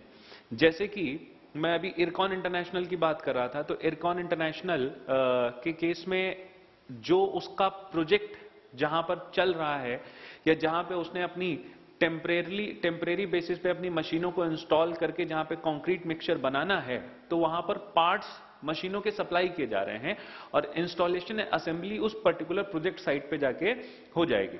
तो यहाँ पर उस प्रोजेक्ट साइट को ही प्लेस ऑफ़ सप्लाई मान लिया जाएगा। ठीक है? नेक्स्ट है आपका good supplied on a board on board a conveyance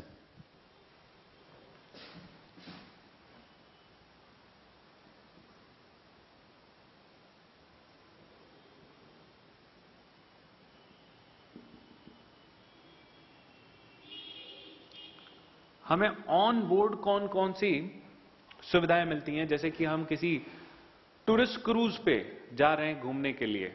on board ship पे हमें बहुत सारे खाने पीने के सामान रेस्टोरेंट सर्विसेज़ और बहुत सारी चीज़ें वहीं पे सेल हो जाती हैं। इसी तरीके से ट्रेन में भी देखा जाए तो खाने पीने का सामान बेचा जाता है या और भी बहुत सारी चीज़ें जो ट्रेन में अंदर बेची जाती है। तो यहाँ पर जब कोई कन्वेंस है तो ऑब्वियस है कि वो रनिंग कंडीशन में है। वो किसी एक लोकेशन पे फिक्स नहीं है। तो वो रनिंग कंडीशन पे है, किसी एक लोकेशन पे फिक्स नहीं नहीं होने की वजह से हमें दिक्कत है उस प्लेस को आइडेंटिफाई करने में, जिस प्लेस पे ये प्लेस ऑफ़ सप्लाई डिफाइन की जाए। तो यहाँ पर लॉ कहता है कि वो लोकेशन लेना है आपको at which such goods are taken on board at which such goods are taken on board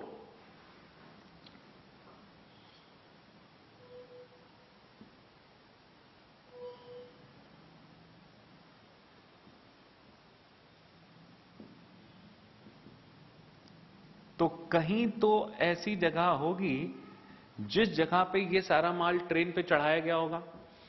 कहीं तो ऐसी जगह होगी जिस जगह पे ये सारे गुड्स शिप पे लोड हुए होंगे।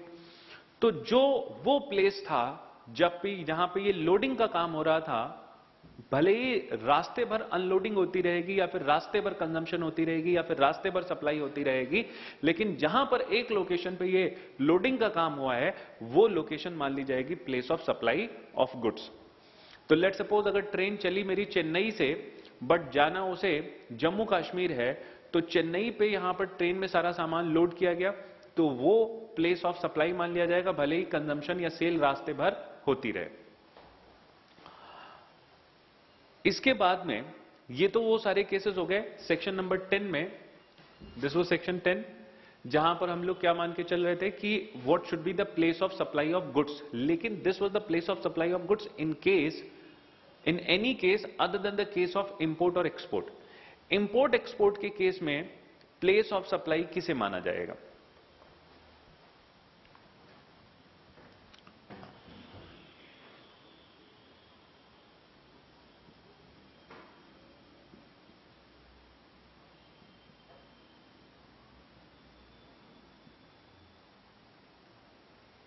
This has been defined under section 11. Section 11 says, import और export.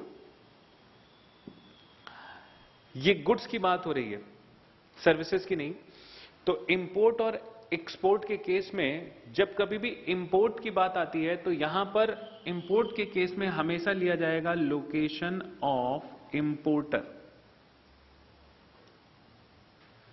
location of importer और एक्सपोर्ट के केस में हमेशा आउटसाइड इंडिया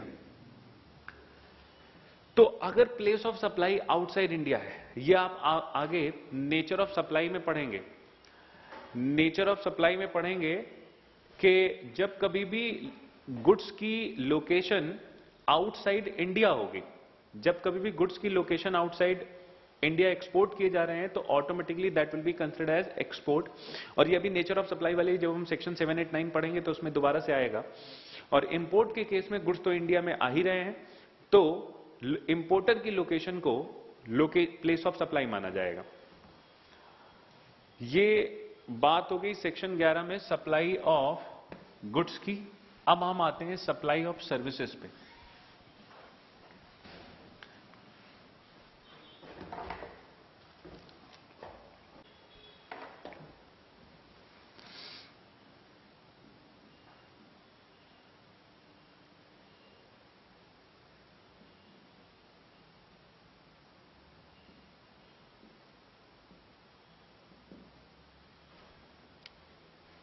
सेक्शन 12 के अंदर numerous situation have been provided under which the place of supply of services needs to be decided on a case to case basis the first case is a general case और the first case which is a general case it says कि normal cases में general scenario में place of supply of service क्या माना जाएगा? General case में जो location of recipient है लोकेशन ऑफ़ रेसिपिएंट मानी जाएगी place of supply if if the recipient is registered person if the recipient is registered person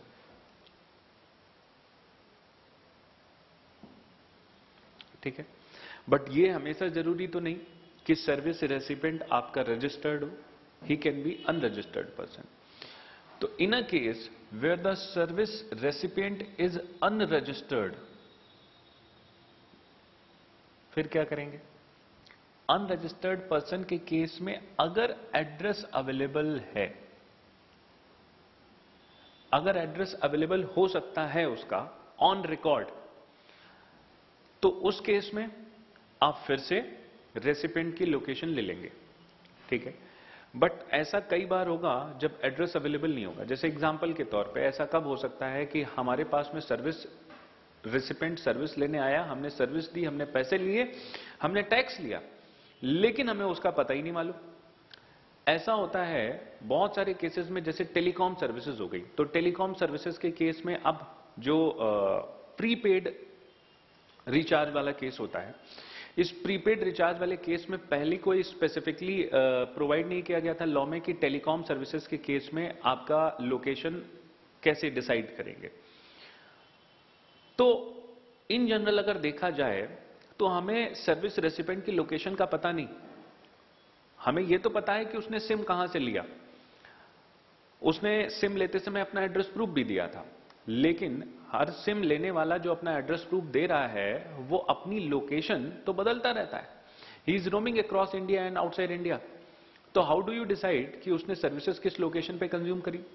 दूसरी दूसरा एग्जांपल लेट सपोज़ मैं बैंक गया और बैंक में जाके मैंने डीडी बनवाया। तो डीडी बनवाना, अगर मैं, अगर मैंने अपने बैंक अकाउंट से डीडी बनवाया है तो उस केस में तो बैंकर को मेरा एड्रेस पता है। लेकिन अगर मैंने कैश में डीडी बनवाया है तो डीडी बनवाने की जो स्लिप होती है, उसके ऊपर मैंने जितना पता लिख दिया, बस वही काफ़ी है। और उसको वो कोई चैलेंज भी नहीं करते, कोई आपका एड्रेस प्रूफ भी नहीं मांगते। सही है, गलत है, कुछ भी डाल दो इनकम्प्लीट डाल दो, खाली आप जो है अपना मोहल्ला डाल दो, अपना मकान नंबर मत डालो, वो कुछ नहीं कहेंगे। तो कहने का मतलब इस केस में बैंकर को आपकी रियल लोकेशन नहीं पता, और इसको कोई एड्रेस माना नहीं जाएगा। It's not a genuine address आप कुछ कुछ भी डाल सकते हैं वहाँ पे। तो यहाँ पर, जहाँ पर एड्रेस अवेलेबल नहीं होता, वहाँ पर आप क्या करेंगे? अगर अवेलेबल है, फिर क्या करेंगे? फिर तो आप फिर से लोकेशन ऑफ़ सर्विस रिसीवर ले लेंगे।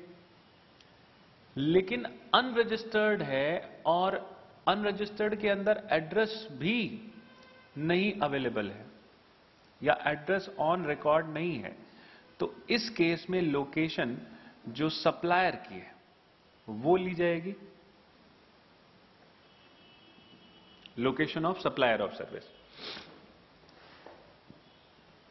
तो बैंक के केस में बैंकर को जहाँ से सर्विस प्रोवाइड हो रही है, उसकी लोकेशन ले लेंगे और इसी तरीके से जो सर्विस प्रोवाइडर टेलीकॉम के केस में होता टेलीकॉम के केस में टेलीकॉम सर्विस प्रोवाइडर की लोकेशन लेते, लेकिन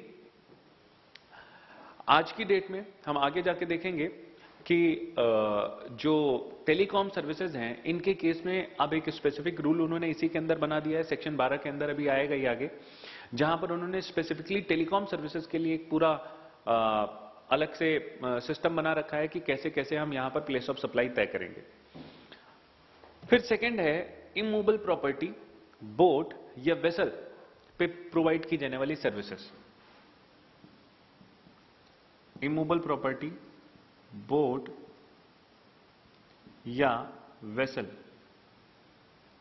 अब आपको ये समझना है इमूवल प्रॉपर्टी बोट या वेसल से रिलेटेड सर्विसेज़ क्या हो सकती हैं? इमूवल प्रॉपर्टी से रिलेटेड सर्विसेज़ में आपकी कंस्ट्रक्शन की सर्विस हो गई आपकी इंटीरियर डेकोरेशन की सर्विस हो गई आपकी आ, उसको सेल परचेज करने से रिलेटेड जो कमीशन एजेंट सर्विसेज़ देते हैं, उनकी सर्विसेज़ हो गई। इमूवल प्रॉपर्टी में आर्किटेक्चर की सर्विसेज़ हो गई आर्किटेक्ट जो लोग सर्विसेज़ देते हैं अपनी। तो ये सारी सर्विसेज़ या फिर एकोमोडेशन की सर्विसेज़ हो गई, या रेंटिंग की सर्विसेज़ हो गई, ये सारी सर्विसेज़ आपकी हो गई इमूबल प्रॉपर्टी से रिलेटेड सर्विसेज़ इमूबल प्रॉपर्टी के अलावा जो बोट और वेसल है, इसके अंदर भी एकोमोडेशन प्रोवाइड की जाती है। भले चाहे टेम्परेरी एकोमोडेशन हो या या लॉन्ग टर्म एकोमोडेशन हो, बोट और वेसल के अंदर भी ये एकोमोडेशन सुविधाएँ दी जाती है।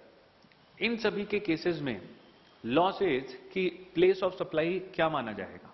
यहाँ पर लॉ कहता है कि जो लोकेशन ऑफ़ इमूवेबल प्रॉपर्टी होगा, या बोट या वेसल। जहाँ कहीं पर भी ये लोकेटेड है, वहीं पर माना जाएगा कि सर्विसेज़ भी सप्लाई की जा रही है। इसके अंदर और भी कुछ सर्विसेज़ बताई जा रही हैं। एकोमोडेशन फॉर ऑर्गेनाइजिंग मैरिज और matters related there to official social cultural religious business function including the services provided in relation to such function at such property तो प्रॉपर्टी पे फ़ंक्शंस हो रहे हैं इमूवल प्रॉपर्टी पे, जैसे गेस्ट हाउस हो गया मैरिज लॉन हो गया तो या फिर कोई दूसरे बिज़नेस फ़ंक्शंस इस प्रॉपर्टी पे हो रहे हैं तो ऐसे सभी केसेस में आपको हमेशा लोकेशन ऑफ़ प्रॉपर्टी लेनी है, या फिर कई बार ऐसा होता है कि जहाँ पर लोकेशन बिल्डिंग की अभी आई ही नहीं, क्यों? क्योंकि building is not in existence जैसे कि अगर आर्किटेक्ट अगर अपनी सर्विसेज़ दे रहा है तो वो सर्विसेज़ क्या होंगी? लैंड से रिलेटेड होगी। जहाँ पर बिल्डिंग एग्जिस्टेंस में नहीं है, लेकिन वो क्या वो क्या कर रहा है? बिल्डिंग की एग्जिस्टेंस से रिलेटेड सर्विस दे रहा है कि उसका आर्किटेक्चर कैसा होगा। तो यहाँ पर हम कहेंगे इधर the immovable property is actually located और the immovable property is intended to be located ठीक है ना? उसकी भी कोई पर्टिकुलर लोकेशन डिसाइड होगी कि इस लैंड पे बिल्डिंग कंस्ट्रक्ट होनी है। इसी तरीके से कोई भी सर्विसेज़ इस इस प्रॉपर्टी के कोई भी इवेंट या कोई भी मैरिज मैरिज फ़ंक्शन या कोई दूसरा बिज़नेस फ़ंक्शन जो इस प्रॉपर्टी के ऊपर हो रहा है, उससे रिलेटेड और क्या सर्विसेज़ हो सकती हैं? अगर वहाँ पर हम सर्विसेज़ दे रहे हैं, उस मैरिज हॉल में या फिर उस मैरिज लॉन में हम कोई सर्विसेज़ दे रहे हैं तो उससे रिलेटेड जो लाइटिंग की सर्विसेज़ हो गई, उससे रिलेटेड उसको सजाने की सर्विसेज़ डेकोरेशन की सर्विसेज़ हो गई, ये सब कहाँ सप्लाई सप्लाइड मानी जाएँगी? उसी लोकेशन पे जहाँ पर ये इमूवल प्रॉपर्टी सिचुएटेड है या इंटेंडेड टू बी सिचुएटेड है अगर इमूवल प्रॉपर्टी या फिर बोट वेसल लोकेटेड और intended to be located outside India है ये तो उस केस में होगा जहाँ पर ये इन इंडिया थी अगर ये इमोबल प्रॉपर्टी बोट या वेसल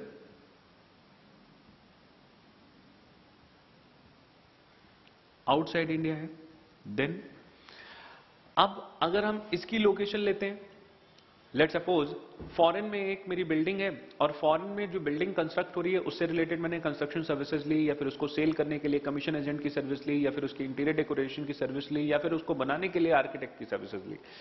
तो अगर हम यहाँ पर place of place of location या लोकेशन ऑफ़ इमूवल प्रॉपर्टी लेते हैं तो तो फिर हर केस में, चूँकि ये है ही आउटसाइड इंडिया फिर तो हर केस में सर्विसेज़ आउटसाइड इंडिया चली जाएँगी। लेकिन गवर्नमेंट यहाँ पर चालाकी से क्या काम करती है?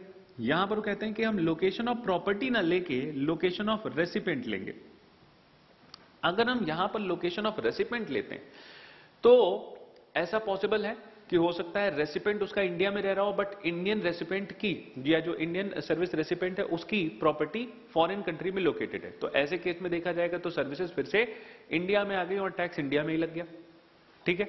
तो देयर प्लेस ऑफ़ जो सर्विस है place of supply of service that will be important next है इमूवल प्रॉपर्टी बोट या vessel located in more than one state अगर इमूवल प्रॉपर्टी या बोट या वेसल एक से ज़्यादा राज्यों में है और एक ही पर्सन का है, जैसे कि लेट सपोज़ किसी एक कंपनी है टाटा कंपनी और टाटा कंपनी की पाँच फैक्ट्रीज हैं। और इन पाँचों फैक्ट्रीज की मेंटेनेंस का काम, इन पाँचों फैक्ट्री बिल्डिंग की मेंटेनेंस का काम पाँच अलग अलग राज्यों में फैक्ट्रीज हैं और पाँचों की मेंटेनेंस का काम एक ही व्यक्ति को दिया गया है। तो अब अगर इस बिल्डिंग की मेंटेनेंस का काम एक पर्सन ले रहा है तो इमूवल प्रॉपर्टी से रिलेटेड ये सर्विस है और एक से ज़्यादा राज्यों में काम हो रहा है। जबकि सर्विस रेसिपेंट एक है, उसका हेड ऑफ़िस मान लीजिए मुंबई है, लेकिन जो बिल्डिंग है वो पाँच अलग अलग राज्यों में सिचुएटेड है। ऐसे केस में लॉसेस की आप अपनी जो वैल्यू ऑफ़ सर्विसेज़ है उसको प्रोपोर्शनेट proportionately distribute कर देंगे depending upon the volume of services and the amount of services which is being provided for a particular building in a particular state or a particular location. ठीक है तो यहाँ पर जहाँ पर मल्टीपल लोकेशंस में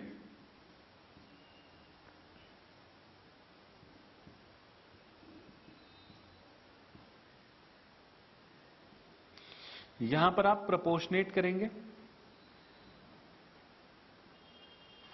तो यहाँ पर सर्विस की जो सप्लाई होगी वो एक से ज़्यादा जगह पे मानी जाएगी। और एक से ज़्यादा जगह पे कहाँ पे? जितनी जितनी जहाँ जहाँ पे सर्विसेज़ प्रोवाइड हो रही प्रोपोर्शनेटली हम डिस्ट्रीब्यूट करते चले जाएँगे। कुछ और स्पेसिफिक सर्विसेज़ के बारे में बताया गया है। पॉइंट नंबर फोर में।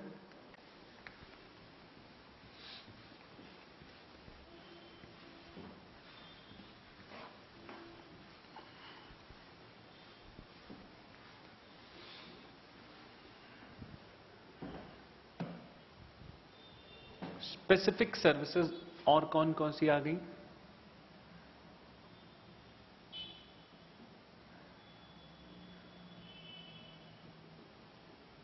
जैसे कि ब्यूटी पार्लर की सर्विसेज़ हो गई जिम या फिर रेस्टोरेंट्स ये लोग जहाँ पे सर्विस देते हैं तो इनके केस में restaurant services catering services gym या हेल्थ क्लब या जो इस तरीके के और क्लब्स होते हैं, इनके सभी के केसेस में लॉस इज़ कि जहाँ पर ये सर्विसेज़ एक्चुअली परफॉर्म हो रही हैं। जहाँ पर ये सर्विसेज़ एक्चुअली परफॉर्म हो रही हैं तो आप दूसरे शब्दों में ऐसे कह सकते हैं कि परफॉर्मेंस बेस्ड सर्विस है ये। ब्यूटी ट्रीटमेंट या हेल्थ क्लब या restaurant place of performance.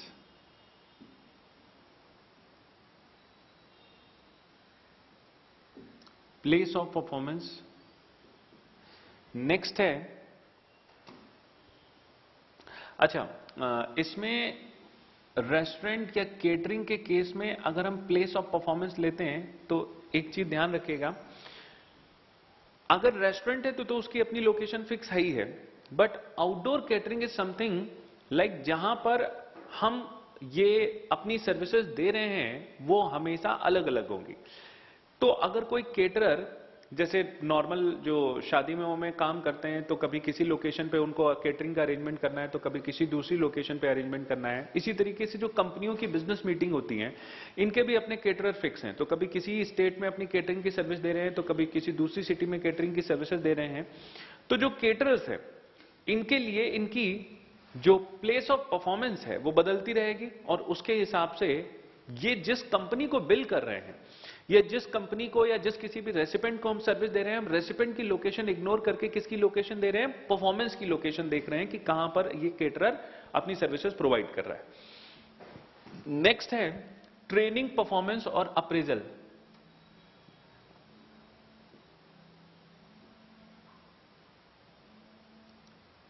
Training performance appraisal वैसे तो ये परफॉर्मेंस अप्रेजल का काम नॉर्मली कंपनी का इंटरनल काम होता है या उनकी एचआर का काम होता है? ट्रेनिंग और परफॉर्मेंस अप्रेजल की सर्विसेज़ किसको दी जा रही होंगी? अगर हम ट्रेनिंग की बात करें तो commercial training and coaching centres इसमें कोचिंग भी आ जाती है और साथ साथ में इसमें जो सॉफ्टवेयर ट्रेनिंग से रिलेटेड चीज़ें हो गई या इसके अलावा बिज़नेस ट्रेनिंग से रिलेटेड चीज़ें हो गई वो भी सब आ गई। किसी भी मशीन को ऑपरेट से रिलेट ऑपरेट करने से रिलेटेड सर्विसेज़ हो गई वो भी आ गई।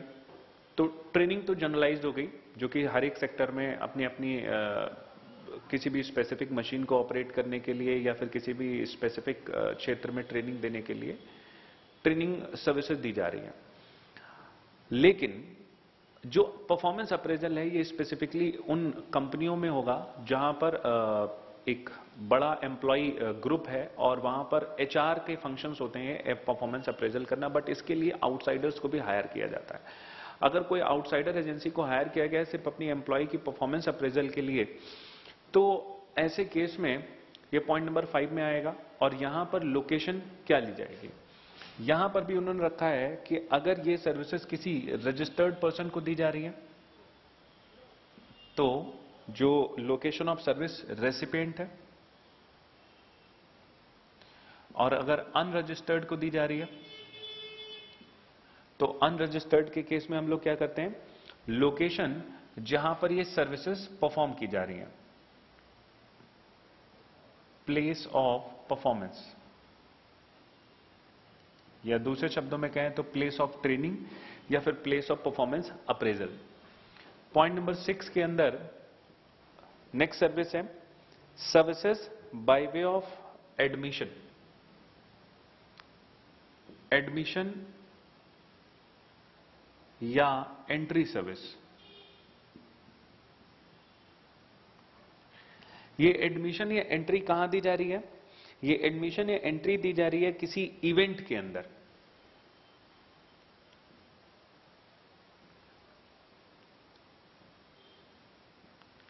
ये इवेंट आपका artistic event cultural event sport sporting event हो सकता है। जैसे किसी म्यूज़िक कंसर्ट के अंदर की अगर हम बात करें तो ए आर रहमान का म्यूज़िक कॉन्सर्ट शो हुआ और जहाँ पर एंट्री पासेस दिए जा रहे हैं। तो एंट्री सर्विस और इसके लिए इन पासेस को सोल्ड आउट करके पैसे लिए जा रहे हैं। इसी तरीके से आर्टिस्टिक या स्पोर्टिंग इवेंट जहाँ पर क्रिकेट मैच हो रहा है टूर्नामेंट हो रहा है या कोई कोई भी गेम हो रहा है और वहाँ पर भी एंट्री पासेस इसी तरीके से बिकते हैं। इसके अलावा अम्यूजमेंट पार्क हो गए अम्यूजमेंट आर्केड हो गए, ठीक है? तो कोई इवेंट या फिर किसी पार्क में एंट्री दी जा रही है और इसके लिए ये जो एंट्री दी जाएगी, यहाँ पर जो लोकेशन होगी that will be the place of event या प्लेस ऑफ़ पार्क माना जाएगा। ये इवेंट अगर इंडिया में होगा तो उस हिसाब से इवेंट अगर आउटसाइड इंडिया होगा तो ये ये जो, जैसे कि कई बार ऐसा होता है कि आईफा आईफा या जो भी आपके ये स्पेशली बॉलीवुड से रिलेटेड अवार्ड शो होते हैं, कई बार इंडिया में और कई बार इंडिया के बाहर होते हैं तो ये अवार्ड शो जो इंडिया के बाहर हो रहे हैं, इनमें भी एंट्री पासेस बिक रहे हैं। अब वहाँ पर जब एंट्री हो रही होगी अवार्ड शो में इंडिया के बाहर तो उसके लिए जो जीएसटी है, वो इंडिया में चार्ज नहीं किया जा सकता बिकॉज़ प्लेस ऑफ़ सप्लाई कहाँ चली गई? आउटसाइड इंडिया और प्लेस ऑफ़ सप्लाई जो प्लेस ऑफ़ इवेंट है, अगर आउटसाइड इंडिया है फिर तो वो एक्सपोर्ट ऑफ़ सर्विस हो गई ठीक है ना? पॉइंट नंबर जो सेवन है इसको आप ध्यान से करिएगा because this is somehow link to the point number six और ये है organisation of event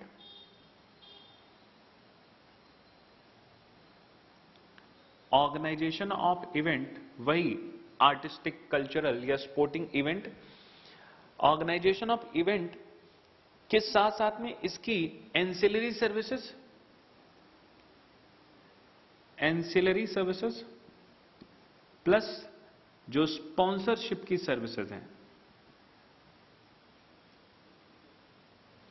जैसे ये स्पोर्टिंग इवेंट मान लेते हैं आईपीएल मैच हुआ। तो अभी हम बात कर रहे थे पॉइंट नंबर सिक्स और सेवन में अंतर समझिएगा। पॉइंट नंबर सिक्स में हम किसकी बात कर रहे थे? सिर्फ़ एंट्री की बात कर रहे थे, जो ऑडियंस आ रही है जो व्यूअर आ रहा है उसको देखने के लिए उसको एंट्री की सर्विसेज़ या एडमिशन की सर्विसेज़ दी जा रही हैं। जबकि पॉइंट नंबर सेवन में हम उस, उस पूरे इवेंट को ऑर्गेनाइज करने की बात कर रहे हैं जो उसके ऑर्गेनाइजर हैं उनको सर्विस देने की बात कर रहे हैं। तो इवेंट के ऑर्गेनाइजर कौन है? इवेंट का ऑर्गेनाइजर है आईपीएल अब इस आईपीएल को सीट मैनेजमेंट की सर्विसेज़ दी गई। कस्टमर की कस्टमर की सीट मैनेजमेंट की सर्विसेज़ हो गई या कस्टमर्स को उनके कस्टमर्स को जो रेस्टोरेंट्स वगैरह की सर्विसेज़ दी जाएँगी, वो हो गई। इसी तरीके से आईपीएल के अंदर लाइटिंग की सर्विसेज़ हो गई। आईपीएल के जितने भी मैचेस होंगे, उन मैचेस की में ग्राउंड अवेलेबिलिटी की अरेंजमेंट हो गई। तो इस तरीके से बहुत सारी सर्विसेज़ होंगी एक बड़े इवेंट को मैनेज करने के लिए या खुद एक इवेंट मैनेजमेंट की सर्विसेज़ हो गई। और स्पॉन्सरशिप जब मैच होगा या आ, कोई भी दूसरा इवेंट होगा तो उसमें स्पॉन्सर्स भी आते हैं अपने अपने आप, अपना ऐड करने के लिए। तो जो स्पॉन्सर्स आ रहे हैं उनको जो स्पॉन्सर्स स्पॉन्सरशिप सर्विसेज़ दी जा रही हैं अगेंस्ट द पेमेंट तो वो भी यहीं पे आ जाएँगे। यहाँ पे यहाँ पे अब आपको ध्यान से देखना है कि अगर ये रजिस्टर्ड पर्सन को दी जा रही है तो तो सर्विस रेसिपिएंट की लोकेशन हो गई।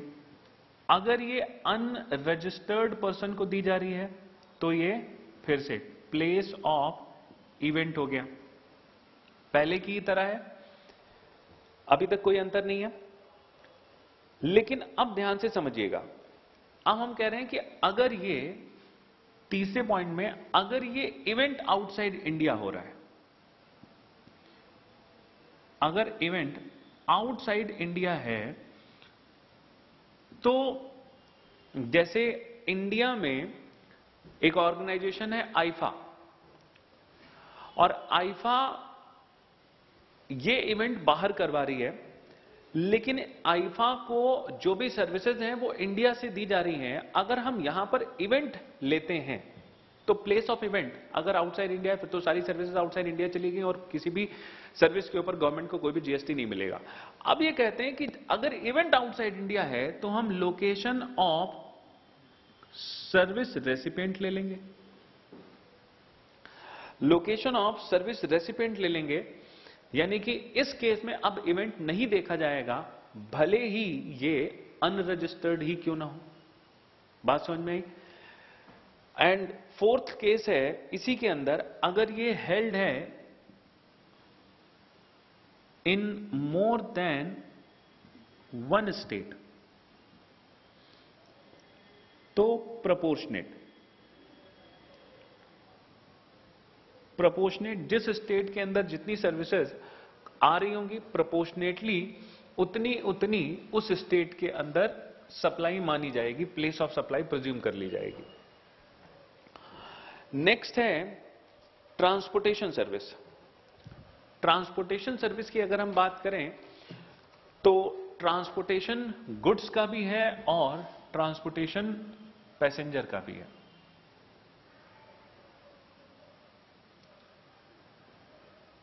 Transportation services goods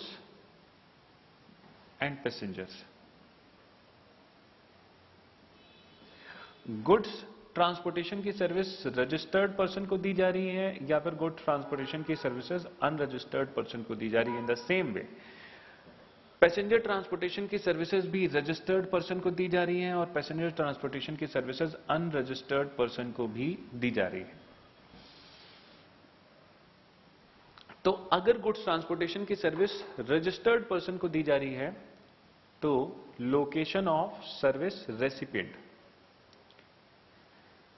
Location of service recipient क्योंकि हमें पता है कि जो, जिस ट्रक से माल जा रहा है, वो किस अच्छा यहाँ पर एक चीज़ ध्यान से देखने वाली है, हमने सर्विस रेसिपिएंट की लोकेशन ली है, ना कि हमने गुड्स की डेस्टिनेशन ली है। हो सकता है कि सर्विस रेसिपिएंट एमपी में बैठा हो बट वो माल भिजवा रहा हो जम्मू कश्मीर में, ठीक है? तो हमने जम्मू कश्मीर की लोकेशन ना लेके सर्विस रेसिपिएंट जो एमपी में बैठा है, उसकी लोकेशन लेनी है, क्योंकि he is registered and if he is not registered तो लोकेशन लेनी है at which such goods are handed over for their transportation यानी कि दूसरे शब्दों में यह कह सकते हैं कि location of loading goods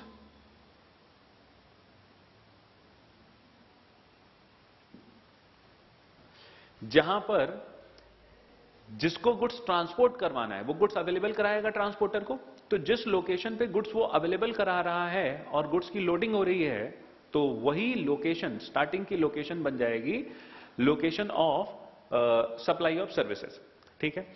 passenger के केस में पैसेंजर के केस में अगर रजिस्टर्ड है तो फिर से सर्विस रेसिपेंट की लोकेशन आपने ले ली और अगर अनरजिस्टर्ड है अगर अनरजिस्टर्ड है तो place where the passenger embarks on the conveyance दूसरे शब्दों में आप ऐसे कह सकते हैं place of starting of journey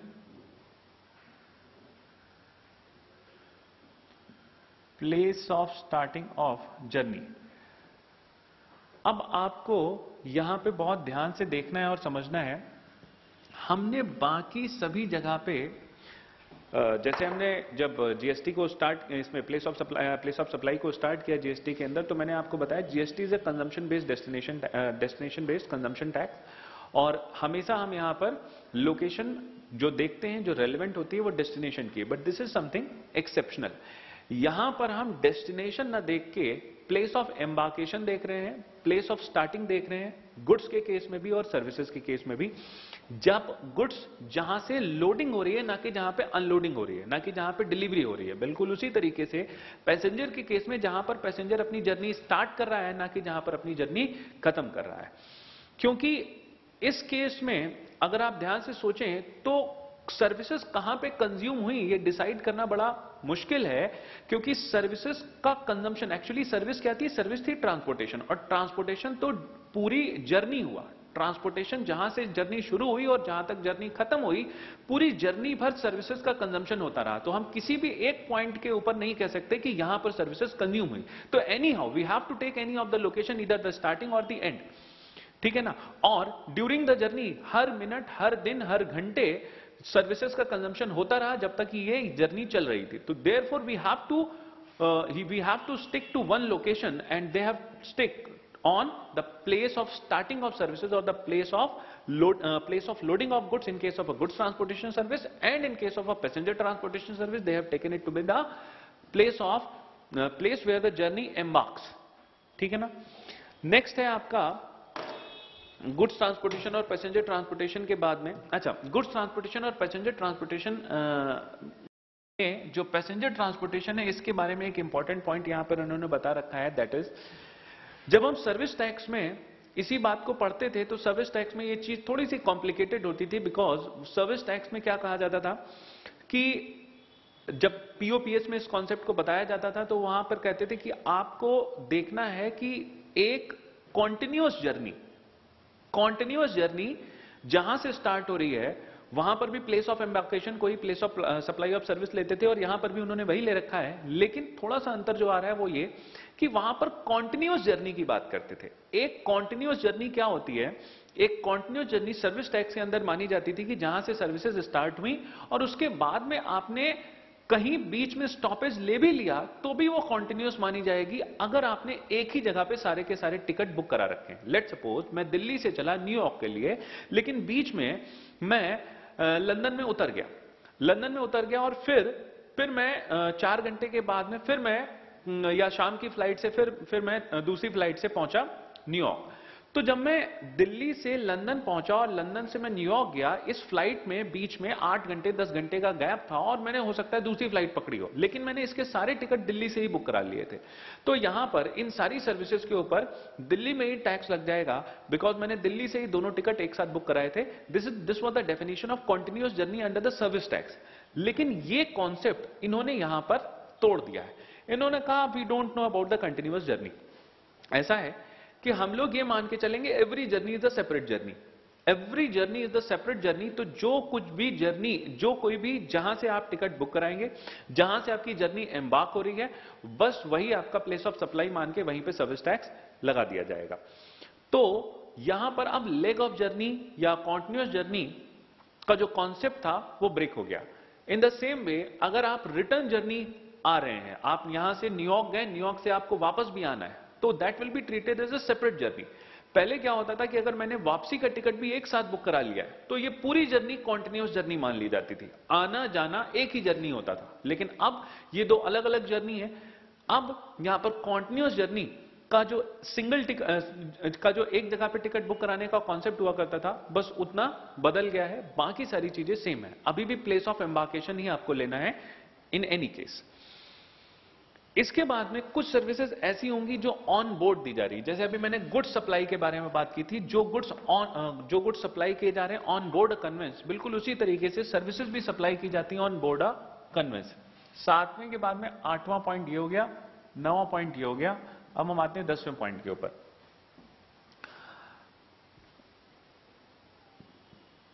on board services जो सर्विसेज़ हमें ऑन बोर्ड मिल रही हैं ऑन बोर्ड अ कन्वेंस चाहे ट्रेन के अंदर मिल रही हैं, या एरोप्लेन के अंदर मिल रही हैं, या शिप के ऊपर मिल रही हैं, चाहे वो गेमिंग की सर्विसेज़ हैं, चाहे वो रेस्टोरेंट की सर्विसेज़ हैं, चाहे कोई दूसरी। तो ये सारी सर्विसेज़ जो ऑन बोर्ड कन्वेंस मिलती हैं, हमने गुड्स के केस में क्या देखा था? जहाँ पर ये गुड्स लोड होते हैं। जहाँ पर ये गुड्स लोड होते हैं, जहाँ पर ये ये सारा मटेरियल ट्रेन पे चढ़ाया जाएगा या शिप पे चढ़ाया जाएगा या एरोप्लेन पे लोड किया जाएगा, वो लोकेशन ले लेंगे। यहाँ पर सर्विसेज़ की बात हो रही है। तो सर्विसेज़ के केस में on board a conveyance including a vessel an aircraft a train और अ मोटर व्हीकल यहाँ पर भी सभी को ले लिया, कोई भी कन्वेंस हो। तो ऐसे केस में यहाँ पर भी location of first scheduled point of departure आपको ले रहे हैं। Location of first scheduled point of departure जहाँ से आपकी ट्रेन पहले चली, जहाँ से आपका एरोप्लेन पहले चला, या फिर जहाँ से आपका शिप स्टार्ट जर्नी जहाँ से स्टार्ट हुई, वो लोकेशन मान ली जाएगी, जहाँ पर ये सारी की सारी सर्विसेज़ कंज्यूम हुई, मानी जाएँगी या फिर सप्लाइड हुई, मानी जाएँगी। बैंकिंग और अदर फाइनेंशियल सर्विसेज़ बैंकिंग और अदर फाइनेंशियल सर्विसेज़ के केस में what should be the place of supply यहाँ पर बैंकिंग फाइनेंशियल साथ साथ में ब्रोकिंग इन सारी सर्विसेज़ को लिया गया। बैंकिंग फाइनेंशियल और ब्रोकिंग की सर्विसेज़ इनके केस में लोकेशन लेना है आपको of recipient of service on record of supplier तो अगर लोकेशन अवेलेबल है तो लोकेशन ऑफ़ सर्विस रेसिपिएंट लेंगे। लेकिन अगर लोकेशन अवेलेबल नहीं है, location not available then location of supplier आपको लेना है। Location of supplier. ठीक है? तो बैंकिंग फाइनेंशियल सर्विसेज़ जैसे अभी मैं बात कर रहा था आपसे डीडी की। मैं बैंक से डीडी बनवाने गया। डीडी अगर मैंने अकाउंट से बनवाई तो तो बैंक के पास में मेरा प्रॉपरली रिकॉर्डेड एड्रेस होगा, जो मैंने खाता खुलवाते समय अपना दे रखा था एड्रेस प्रूफ लेकिन अगर मैं डीडी कैश में बनवाने गया तो bank will not have my address with the address proof तो देयरफॉर उस केस में क्या होगा? लोकेशन ऑफ़ सप्लायर यानी कि बैंक की खुद की लोकेशन ले लेंगे इंस्टेड ऑफ़ रेसिपेंट्स लोकेशन और लास्ट है इसके अंदर इंश्योरेंस सर्विस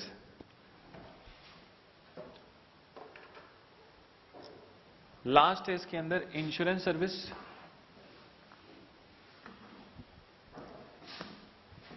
इंश्योरेंस सर्विस के केस में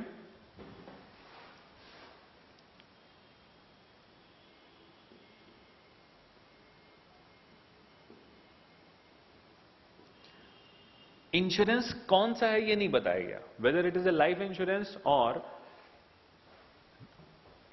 लाइफ इंश्योरेंस और हेल्थ इंश्योरेंस और जनरल इंश्योरेंस और some other insurance whatever be the nature of insurance ये इंश्योरेंस किसको दिया जा रहा है आपको ये देखना है? किसी रजिस्टर्ड पर्सन को या किसी अनरजिस्टर्ड पर्सन को। अगर रजिस्टर्ड पर्सन को है तो फिर से हम लोकेशन ऑफ़ सर्विस रेसिपेंट ले लेंगे। ज़्यादातर जगह जहाँ पर अप्लीकेबल हो सकता है जहाँ पर अवेलेबल हो सकता है they have decided it to be location of service recipient because GST being a consumption based service tax, consumption based GST. तो लोकेशन ऑफ़ सर्विस रेसिपेंट और अगर अनरजिस्टर्ड पर्सन है तो आपको क्या लेना है तो आपको लेना है लोकेशन ऑफ़ सर्विस प्रोवाइडर क्योंकि इंश्योरेंस सर्विस के केस में जैसे अगर इंश्योरेंस किया जा रहा है, किसी की मैन कोई की मैन इंश्योरेंस है तो की मैन इंश्योरेंस के केस में क्या होता है कि कंपनी ये इंश्योरेंस सर्विस लेती है अपने कंपनी के डायरेक्टर्स के लिए या अपनी कंपनी के की मैनेजमेंट पर्सनल्स के लिए। तो ऐसे केस में एम जो इंश्योरेंस प्रीमियम भर रहा है वो कंपनी है, ठीक है ना? और सर्विस रेसिपेंट कौन हो गया? कंपनी लेकिन कंपनी का एड्रेस अवेलेबल होगा और कंपनी रजिस्टर्ड होगी। तो यहाँ पर सर्विस प्रोवाइडर सर्विस रेसिपेंट की लोकेशन लेगा। लेकिन लाइफ इंश्योरेंस के केस में क्या होता है? जहाँ पर की मैनेजमेंट इंश्योरेंस की मैन इंश्योरेंस नहीं है, वहाँ पर क्या, वहाँ पर क्या होगा? लाइफ इंश्योरेंस के केस में इतने सारे लोगों का जब नॉर्मल इंश्योरेंस होता है लाइफ इंश्योरेंस तो दे आर नॉट रजिस्टर्ड तो इन सभी केसेस में आप क्या लेते हैं? सप्लायर की लोकेशन जो इंश्योरेंस कंपनी की लोकेशन होगी।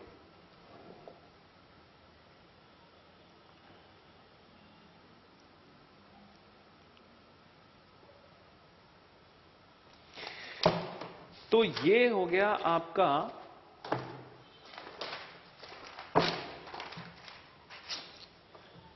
place of supply pace of place of supply के अंदर एक लास्ट पॉइंट बचा हुआ है, वो है टेलीकॉम सर्विसेज़ के केस में मैं अभी आपको थोड़ी देर पहले बता भी रहा था कि पहले सर्विस टैक्स में टेलीकॉम सर्विस प्रोवाइडर के लिए कोई स्पेशल रूल नहीं बना हुआ था कि टेलीकॉम सर्विस प्रोवाइडर्स अपनी प्लेस ऑफ़ सप्लाई कैसे तय करेंगे, लेकिन जीएसटी के अंदर they have made it specific तो टेलीकॉम सर्विसेज़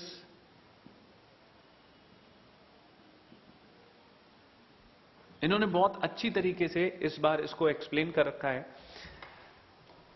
टेलीकॉम सर्विसेज़ के केस में अगर हम बात करते हैं लीज लाइन की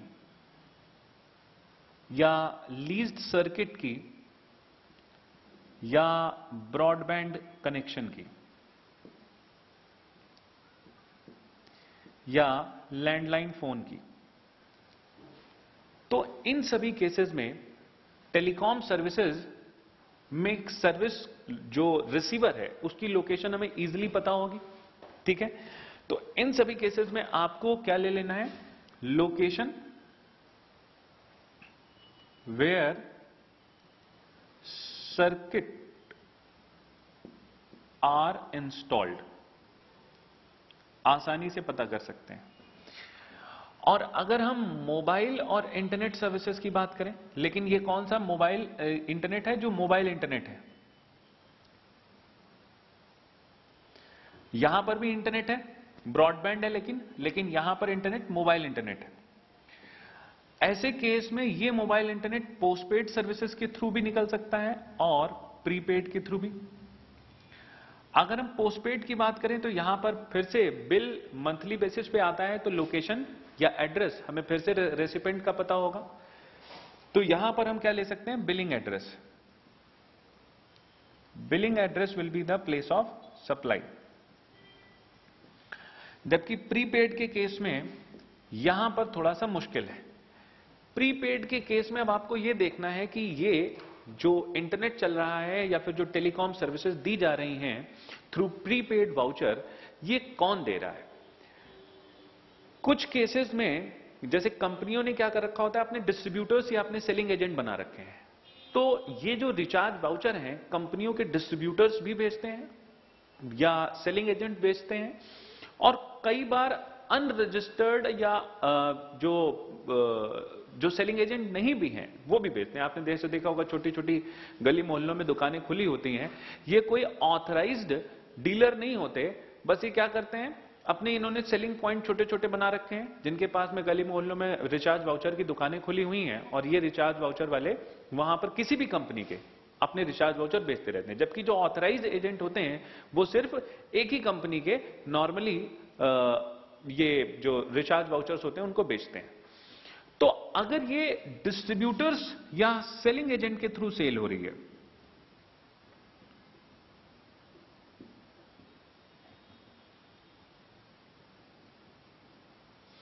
तो हम इन डिस्ट्रीब्यूटर्स या सेलिंग एजेंट की ही लोकेशन को ले लेते हैं प्लेस ऑफ़ सप्लाई ठीक है? और अगर इसको डिस्ट्रीब्यूटर्स या सेलिंग एजेंट के अलावा कोई दूसरा इन रिचार्ज वाउचर्स को या कूपन्स को बेच रहा है तो ऐसे केस में क्या करते हैं? ये वो लोकेशन लेते हैं where such prepayment is received और सच वाउचर्स आर सोल्ड तो अदर में where pre payment is received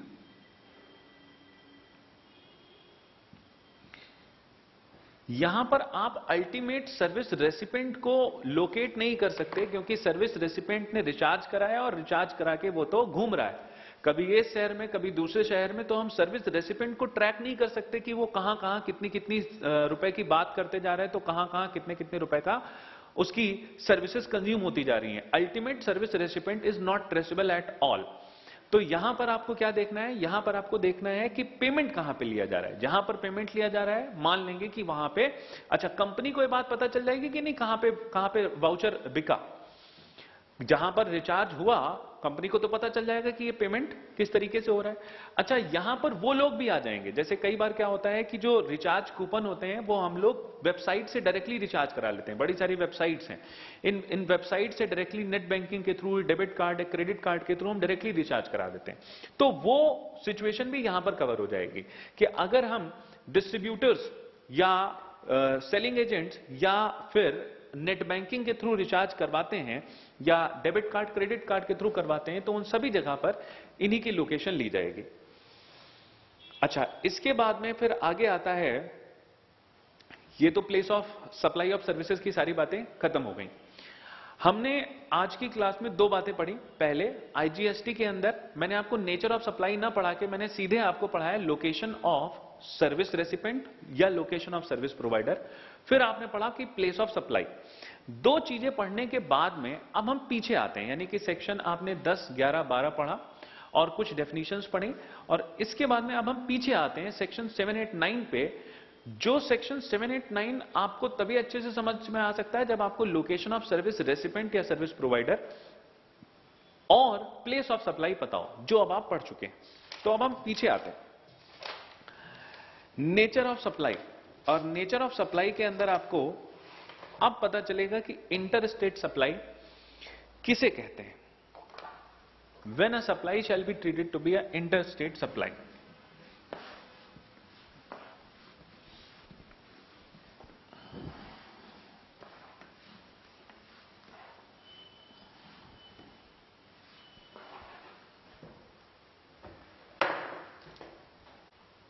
section seven के अंदर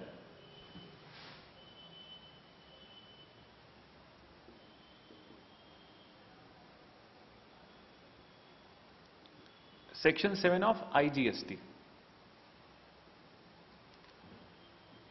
inter state supply को डिफाइन किया गया है। Now what is inter state supply inter state supply के लिए बताया गया है where the location of supplier and the place of supply where location of supplier and place of supply दोनों चीज़ें आप पढ़ चुके हैं। प्लेस ऑफ़ सप्लाई गुड्स के केस में और सर्विस के केस में और लोकेशन ऑफ़ सप्लायर ये दोनों ही, ये दोनों ही या तो दो डिफरेंट स्टेट्स में हो, या दो डिफरेंट यूनियन टेरिटरीज में हो, या एक स्टेट में हो, और एक यूनियन टेरिटरी में हो। तो ये इंटर स्टेट सप्लाई माना जाएगा। ध्यान से देखने वाली बात जो है, वो ये एंड वो कह रहे हैं सप्लायर भी दो अलग अलग राज्यों में है या यूनियन टेरिटरीज में है और साथ साथ में प्लेस ऑफ़ सप्लाई भी दो अलग अलग राज्यों और यूनियन टेरिटरी में है। तो अगर हम यहाँ तक की बात करें तो इसको देखने से लगता है कि अगर मिस्टर ए, जो कि यूपी में है, और बी जो एमपी में है, ये इसको गुड्स या सर्विसेज़ कुछ भी सप्लाई करता है तो पहले तो दोनों की लोकेशन अलग अलग हो गई। और अब मुझे साथ में एक और क्या चीज़ देखनी है कि प्लेस ऑफ़ सप्लाई भी अलग अलग होनी चाहिए। अगर है तो तो ये इंटर स्टेट है। हालाँकि आगे चल के अभी हम देखेंगे, ये डेफिनेशन बहुत वाइड हो जाएगी। अभी के लिए ये लॉजिकल पोजीशन है। इसमें कोई, हम हम भी पहले यही सोचते थे और ऐसा है भी। अब बात आती है कि आपने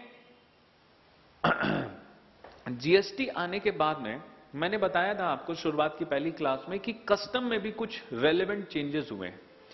जैसे कस्टम के अंदर, पहले जब हम कस्टम ड्यूटी लगाते थे तो कस्टम के अंदर क्या होता था कि एक तो बेसिक कस्टम ड्यूटी लगती थी। बेसिक कस्टम ड्यूटी के ऊपर एजुकेशन सेस और secondary and higher education cess लगता था। साथ साथ में जो ड्यूटी लगती थी सीबीडी काउंटर वेलिंग ड्यूटी और ये काउंटर वेलिंग ड्यूटी कितने अमाउंट के बराबर होती थी?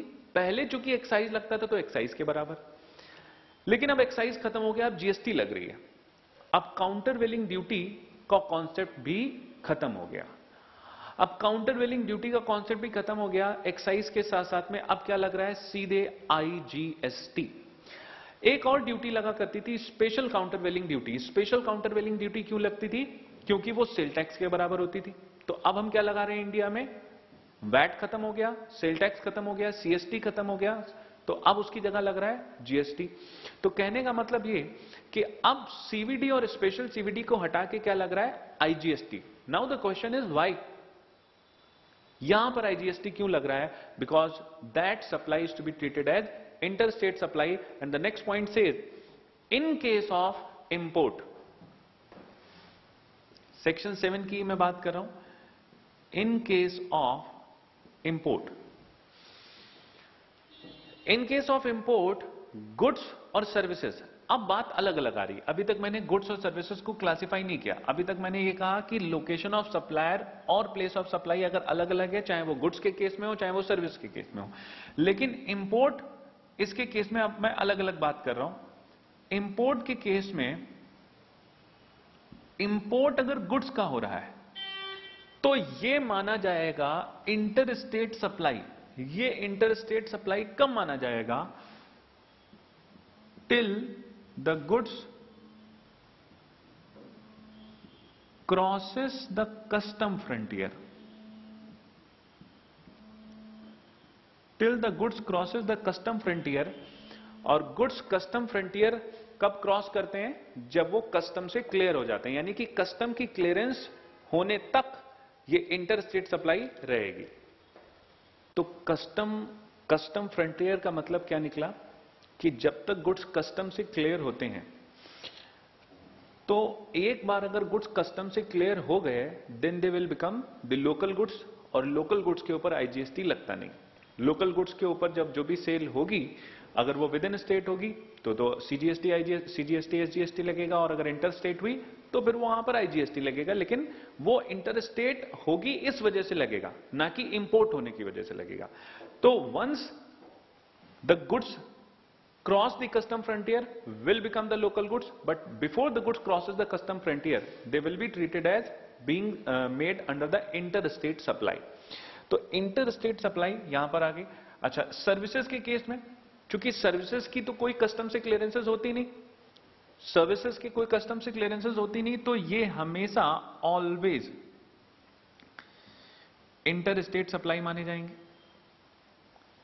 तो दूसरे शब्दों में आप ये कह सकते हैं whenever the services are imported from outside India हमेशा आईजीएसटी लगेगी treating them as inter state supply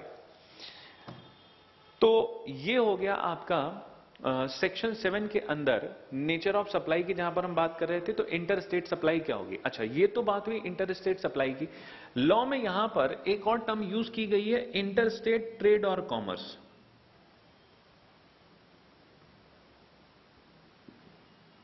हालाँकि ये टर्म पहले सेंट्रल सेल टैक्स जो सीएसटी चलता था उसके अंदर ये टर्म यूज़ होती थी। हालाँकि इसका मतलब भी और कुछ नहीं इंटर स्टेट सप्लाई से ही है।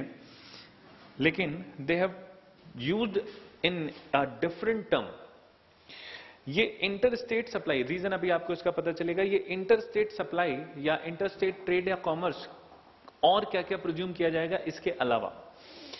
इसके अलावा जब कभी भी सप्लायर इंडिया में लोकेटेड है supplier is located in India and the place of supply is outside India. So supplier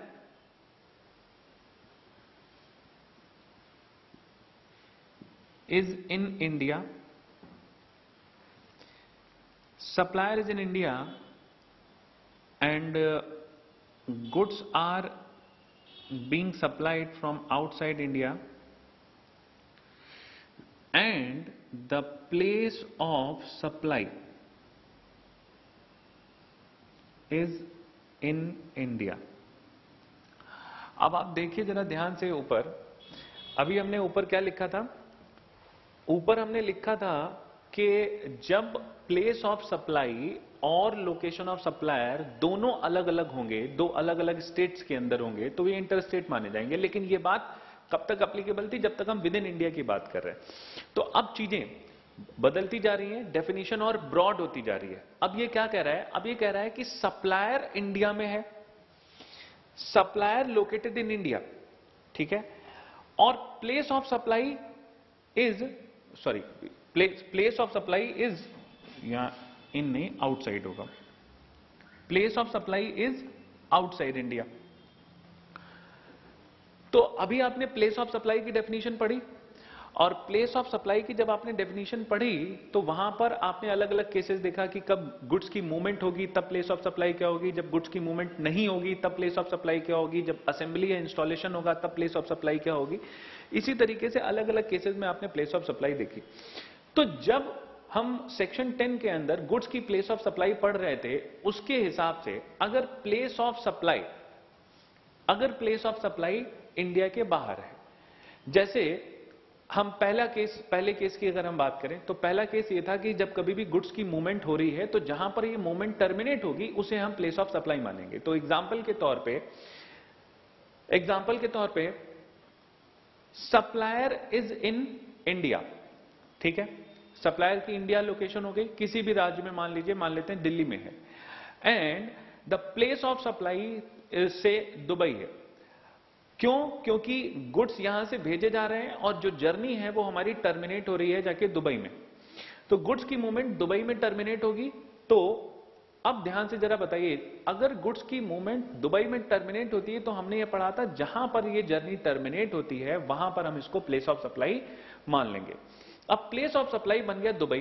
तो place of supply becomes outside India supplier India का है। दूसरे शब्दों में ये कह सकते हैं is it export obviously this is a case of export तो ये भी क्या है? इंटर स्टेट सप्लाई वो बात अलग है कि इसको हम लोग यहाँ पर ऐसे केसेस में टैक्सेस नहीं लगाते because to promote the export government ने क्या कर रखा है? सारे टैक्सेस को माफ़ कर रखा है।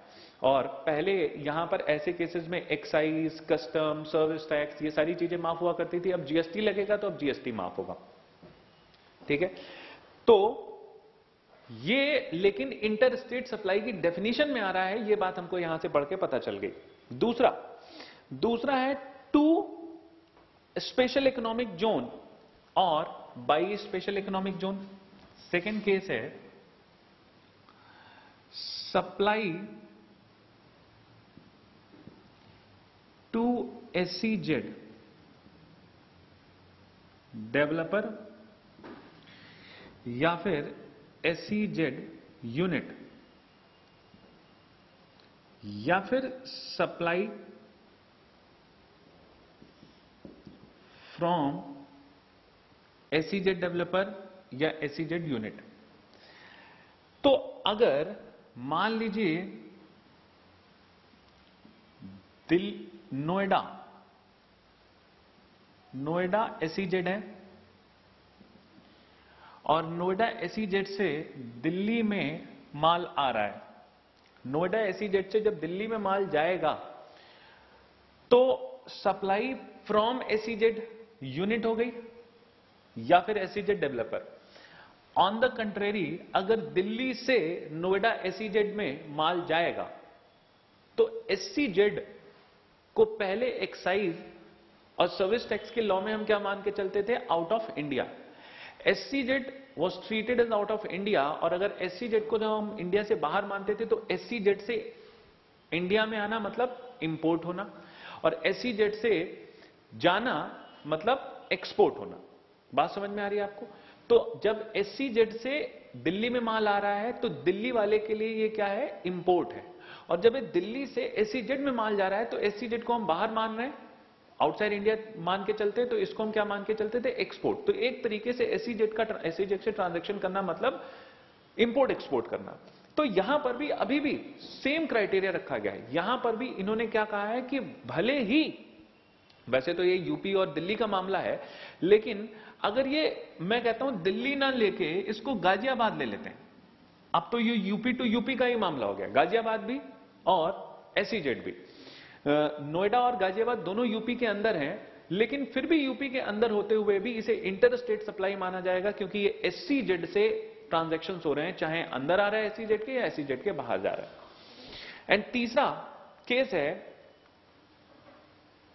इन, तीसरा केस है इन द टैक्सेबल टेरिटरी ये जो सप्लाई हो रही है in the taxable territory not being the intra state supply and not covered elsewhere in this section. ये थर्ड पॉइंट इस डेफिनेशन को और ब्रॉड कर देता है। ये कह रहा है,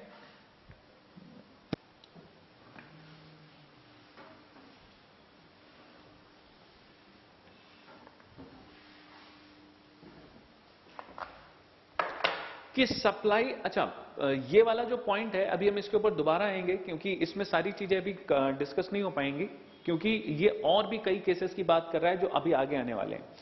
तो मैं एक काम करता हूँ, इसको अभी बस छोटा सा दो मिनट में मैं आपको डिस्कस करके अभी इसको खत्म कर देता हूँ, अभी दोबारा से इसके ऊपर आएँगे। थर्ड पॉइंट है सप्लाई हो रही है in the taxable territory which is not being an intra state supply supply तो है, और इन टैक्सेबल टेरिटरी है मतलब इंडिया के अंदर है। लेकिन ये सप्लाई ऐसी है जो इंट्रा स्टेट नहीं है। अभी हमने इंट्रा स्टेट सप्लाई पढ़नी है, क्योंकि अभी हम डेफिनेशन जो सेक्शन सेवन में पढ़ रहे हैं, वो सिर्फ़ इंटर स्टेट की पढ़ रहे हैं। तो ऐसी सप्लाई जो इंट्रा स्टेट नहीं है और इस सेक्शन में कहीं लिखी भी नहीं है नॉट एल्स वेयर स्पेसिफाइड तो बताइए। अगर इंट्रा स्टेट नहीं है तो क्या ऑटोमेटिक इंटर स्टेट हो गई? अगर विद इन स्टेट नहीं है इंट्रा स्टेट नहीं है तो ऑटोमेटिक क्या इंटर स्टेट हो गई? नहीं। उन्होंने कहा कि हमने पहले से इस सेक्शन के अंदर बड़ी सारी सिचुएशंस बता रखी हैं, जब जब ये इंटर स्टेट मानी जाएगी। लेकिन हमसे इस सेक्शन के अंदर कुछ ऐसी सिचुएशन छूट गई हैं, जो हमने नहीं बता रखी यहाँ पे। जो हमने बताई नहीं कि ये इंटर स्टेट होनी चाहिए। लेकिन वो इंट्रा भी नहीं है। यहाँ बताई नहीं और इंट्रा अगले सेक्शन में कवर नहीं करी विद इन स्टेट वाले में। तो वो बची हुई सप्लाई ऑटोमेटिक इंटर स्टेट हो गई। लेकिन ये बात हमें तब पता चलेगी जब हम एक बार इंट्रा स्टेट पढ़ लेते हैं। आइए, वैसे भी ये सेक्शन खत्म हो गया। आइए अगला सेक्शन जो सेक्शन एट हमारा इंट्रा स्टेट सप्लाई का, उसको पढ़ते हैं।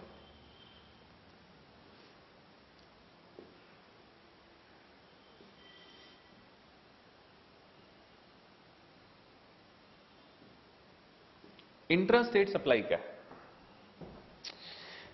Intra state supply as the name suggest the supply within state और supply within union territory अभी हम दो यूनियन टेरिटरीज में ट्रांजेक्शन की बात कर रहे थे, या एक स्टेट एक यूनियन टेरिटरी में ट्रांजेक्शन की बात कर रहे थे, या दो स्टेट में ट्रांजेक्शन की बात कर रहे थे, लेकिन अब अब जो ट्रांजेक्शन हो रहा है, ये इंट्रा स्टेट सप्लाई है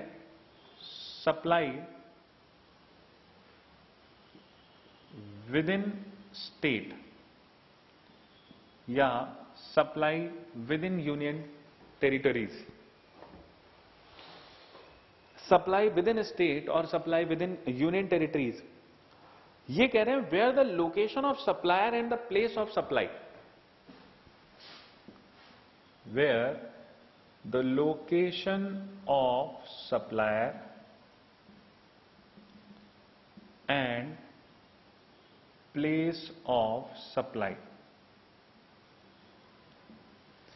अभी आपने यही पढ़ा था कि जब लोकेशन ऑफ़ सप्लायर और प्लेस ऑफ़ सप्लाई दो की दोनों दो अलग अलग स्टेट में हो या दो अलग अलग यूनियन टेरिटरीज में हो या एक यूनियन टेरिटरी और एक स्टेट में हो तो ऐसे सभी केस में क्या होगा? इसे इंटर स्टेट सप्लाई मान लिया जाएगा।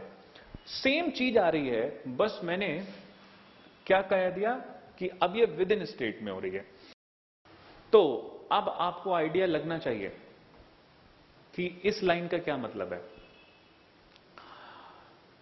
जब दो के दोनों सेम स्टेट में हैं, जब दो के दोनों सेम स्टेट में हैं सेम यूनियन टेरिटरी में हैं तो तो इंटर स्टेट सप्लाई है।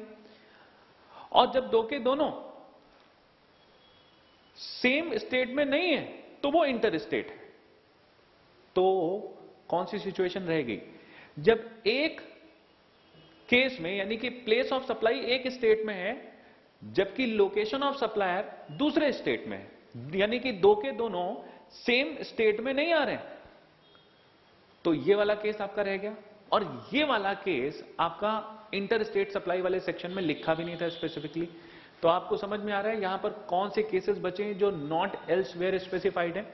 जहाँ पर दो के दोनों, यानी कि सप्लायर और प्लेस ऑफ़ सप्लाई अगर दोनों एक एक सेम स्टेट में होते, जैसे मैं एक एग्जांपल भी ले लेता हूँ, उसे और ज़्यादा क्लियर हो जाएगा आपको। जहाँ पर मैं ये कह रहा हूँ कि mister A is located in UP and mister B is located in MP पहले मैं इसकी लोकेशन और जो सप्लाई की लोकेशन है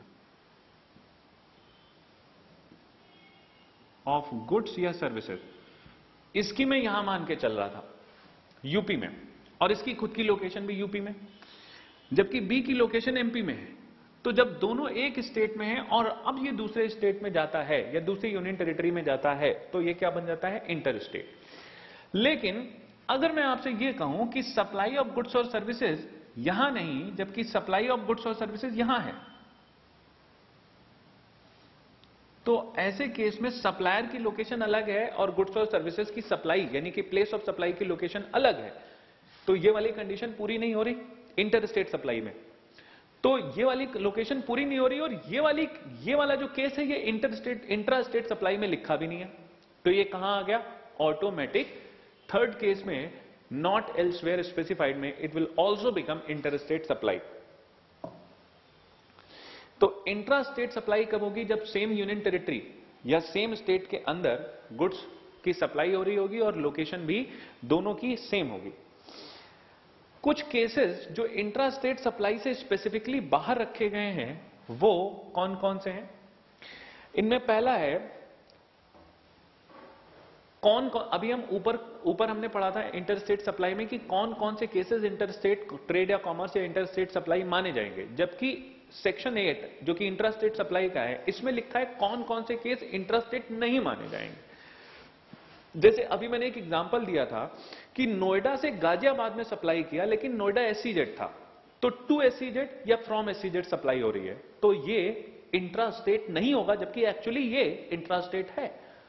एक्चुअली विद इन स्टेट है, लेकिन चूँकि एससीजेड इन्वॉल्व हो गया तो ये इसे इंट्रा स्टेट नहीं मानेंगे, इसे इंटर स्टेट मानेंगे। तो वहाँ पर हमने सेक्शन सेवन में पढ़ा था, ये इंटर स्टेट है, और यही बात सेक्शन एट में लिखी है कि ये इंट्रा स्टेट नहीं है। ये इंट्रा स्टेट नहीं है तो supply of a supply to SCZ developer or SCZ unit will not be treated at intra-state supply इसी तरीके से। Goods imported into India goods imported into the territory of India till they cross the custom frontier of India यही बात अभी हमने यहाँ पढ़ी थी कि गुड्स जब कस्टम फ्रंटियर को जब तक क्रॉस नहीं कर लेते, तब तक वो इंटर स्टेट सप्लाई माने जाएँगे। वहाँ हमने सेक्शन सेवन में पढ़ा था कि ये इंटर स्टेट सप्लाई है, यहाँ आठ में पढ़ रहे हैं, ये इंट्रा स्टेट नहीं है। एक ही बात है। और एक केस सेक्शन एट में बचता है, वो है supplier of goods made to a tourist as referred to in section 15 यानी कि सेक्शन 15 के अंदर में जब किसी टूरिस्ट को गुड्स की सप्लाई की जाएगी सेक्शन 15 के अंदर में जब किसी टूरिस्ट को गुड्स की सप्लाई की जाएगी या सर्विसेज़ की सप, या यहाँ सर्विसेज़ नहीं है सिर्फ़ गुड्स ही है जब सप्लायर जब गुड्स की सप्लाई किसी टूरिस्ट को सेक्शन 15 के अंदर होगी तो वो सिचुएशन इंट्रा स्टेट में नहीं आएगी, यानी कि दूसरे शब्दों में यह कहें कि तो supply to tourist supply to tourist under section 15 will be treated as inter state supply because ये सेक्शन 7 में स्पेसिफाइड नहीं है और सेक्शन 8 के बाहर है। ये वाला केस भी यहाँ आ जाएगा नॉट एल्स वेयर स्पेसिफाइड वाला। सप्लाई के पर्पज से हम लोग जो सप्लायर है और जो रिसीवर है उन दोनों को अलग अलग लेते हैं। उन दोनों को that that must be a two different person that must be a two distinct entity only then the supply can be possible कोई अपने आप को तो सप्लाई नहीं कर सकता।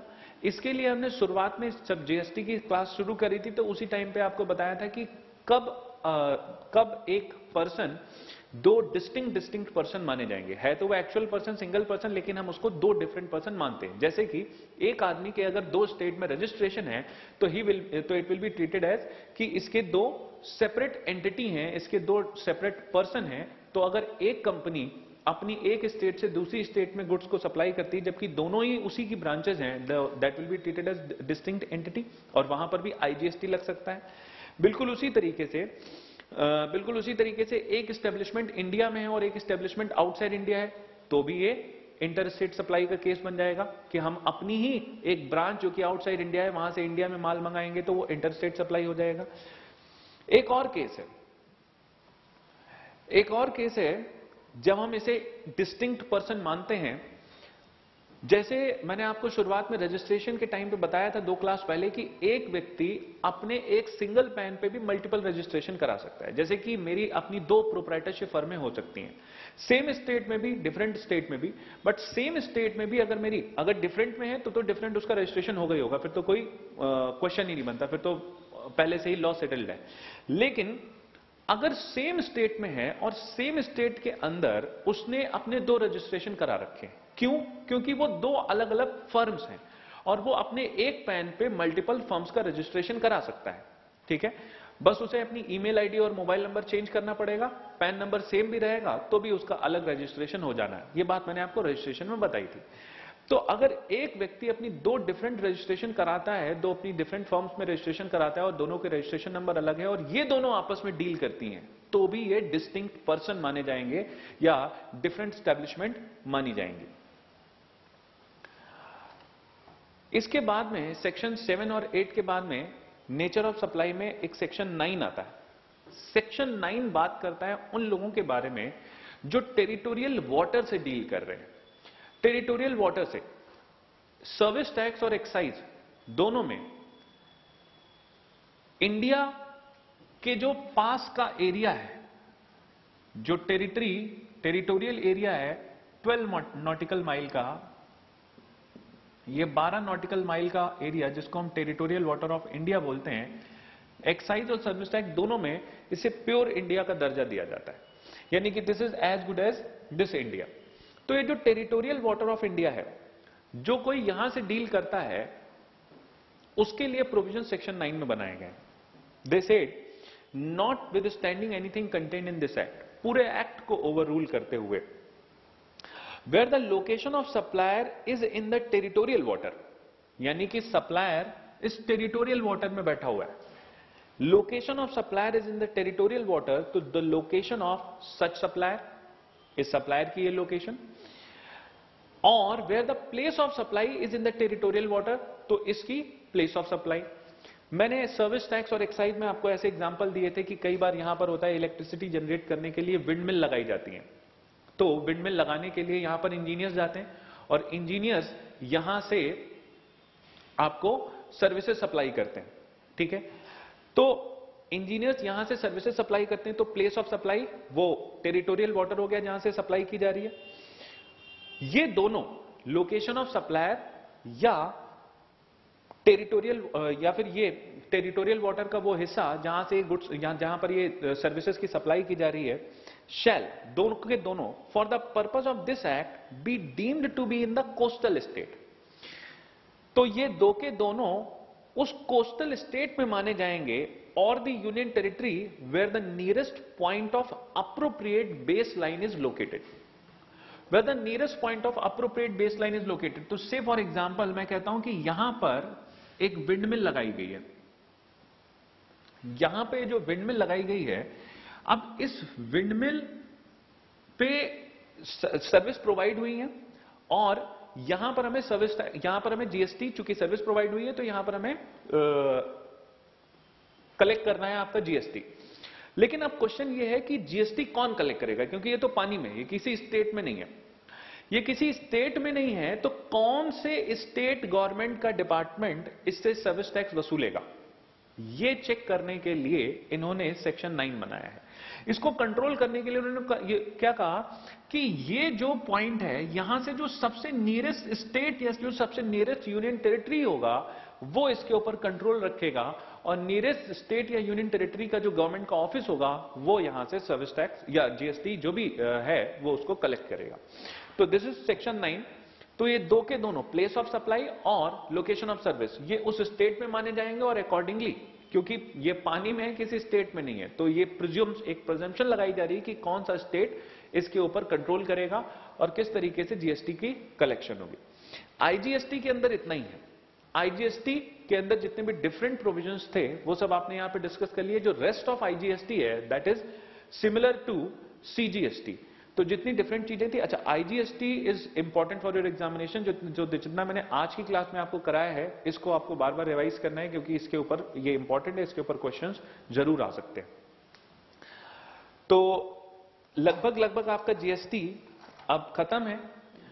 एक यूटी जीएसटी के लिए कुछ प्रोविजंस दे रखे हैं, वो मैं एक अगली क्लास में थोड़ा बहुत जो रह गया है, वो मैं कवर करवा दूँगा and the rest of things are okay and complete तो जो कुछ रह गया है, दो चार, पाँच, सात परसेंट, वो मैं नेक्स्ट क्लास में करा दूँगा। अब आप जो पीछे के प्रोविज़न जैसा मैंने आज की क्लास में बताया भी था कि पीछे की जो आपको सर्विस टैक्स और एक्साइज के जो प्रोविजंस थे, उनके रेफरेंस जब आप जीएसटी को पढ़ेंगे तो जीएसटी आपका पूरा कंप्लीट हो जाएगा।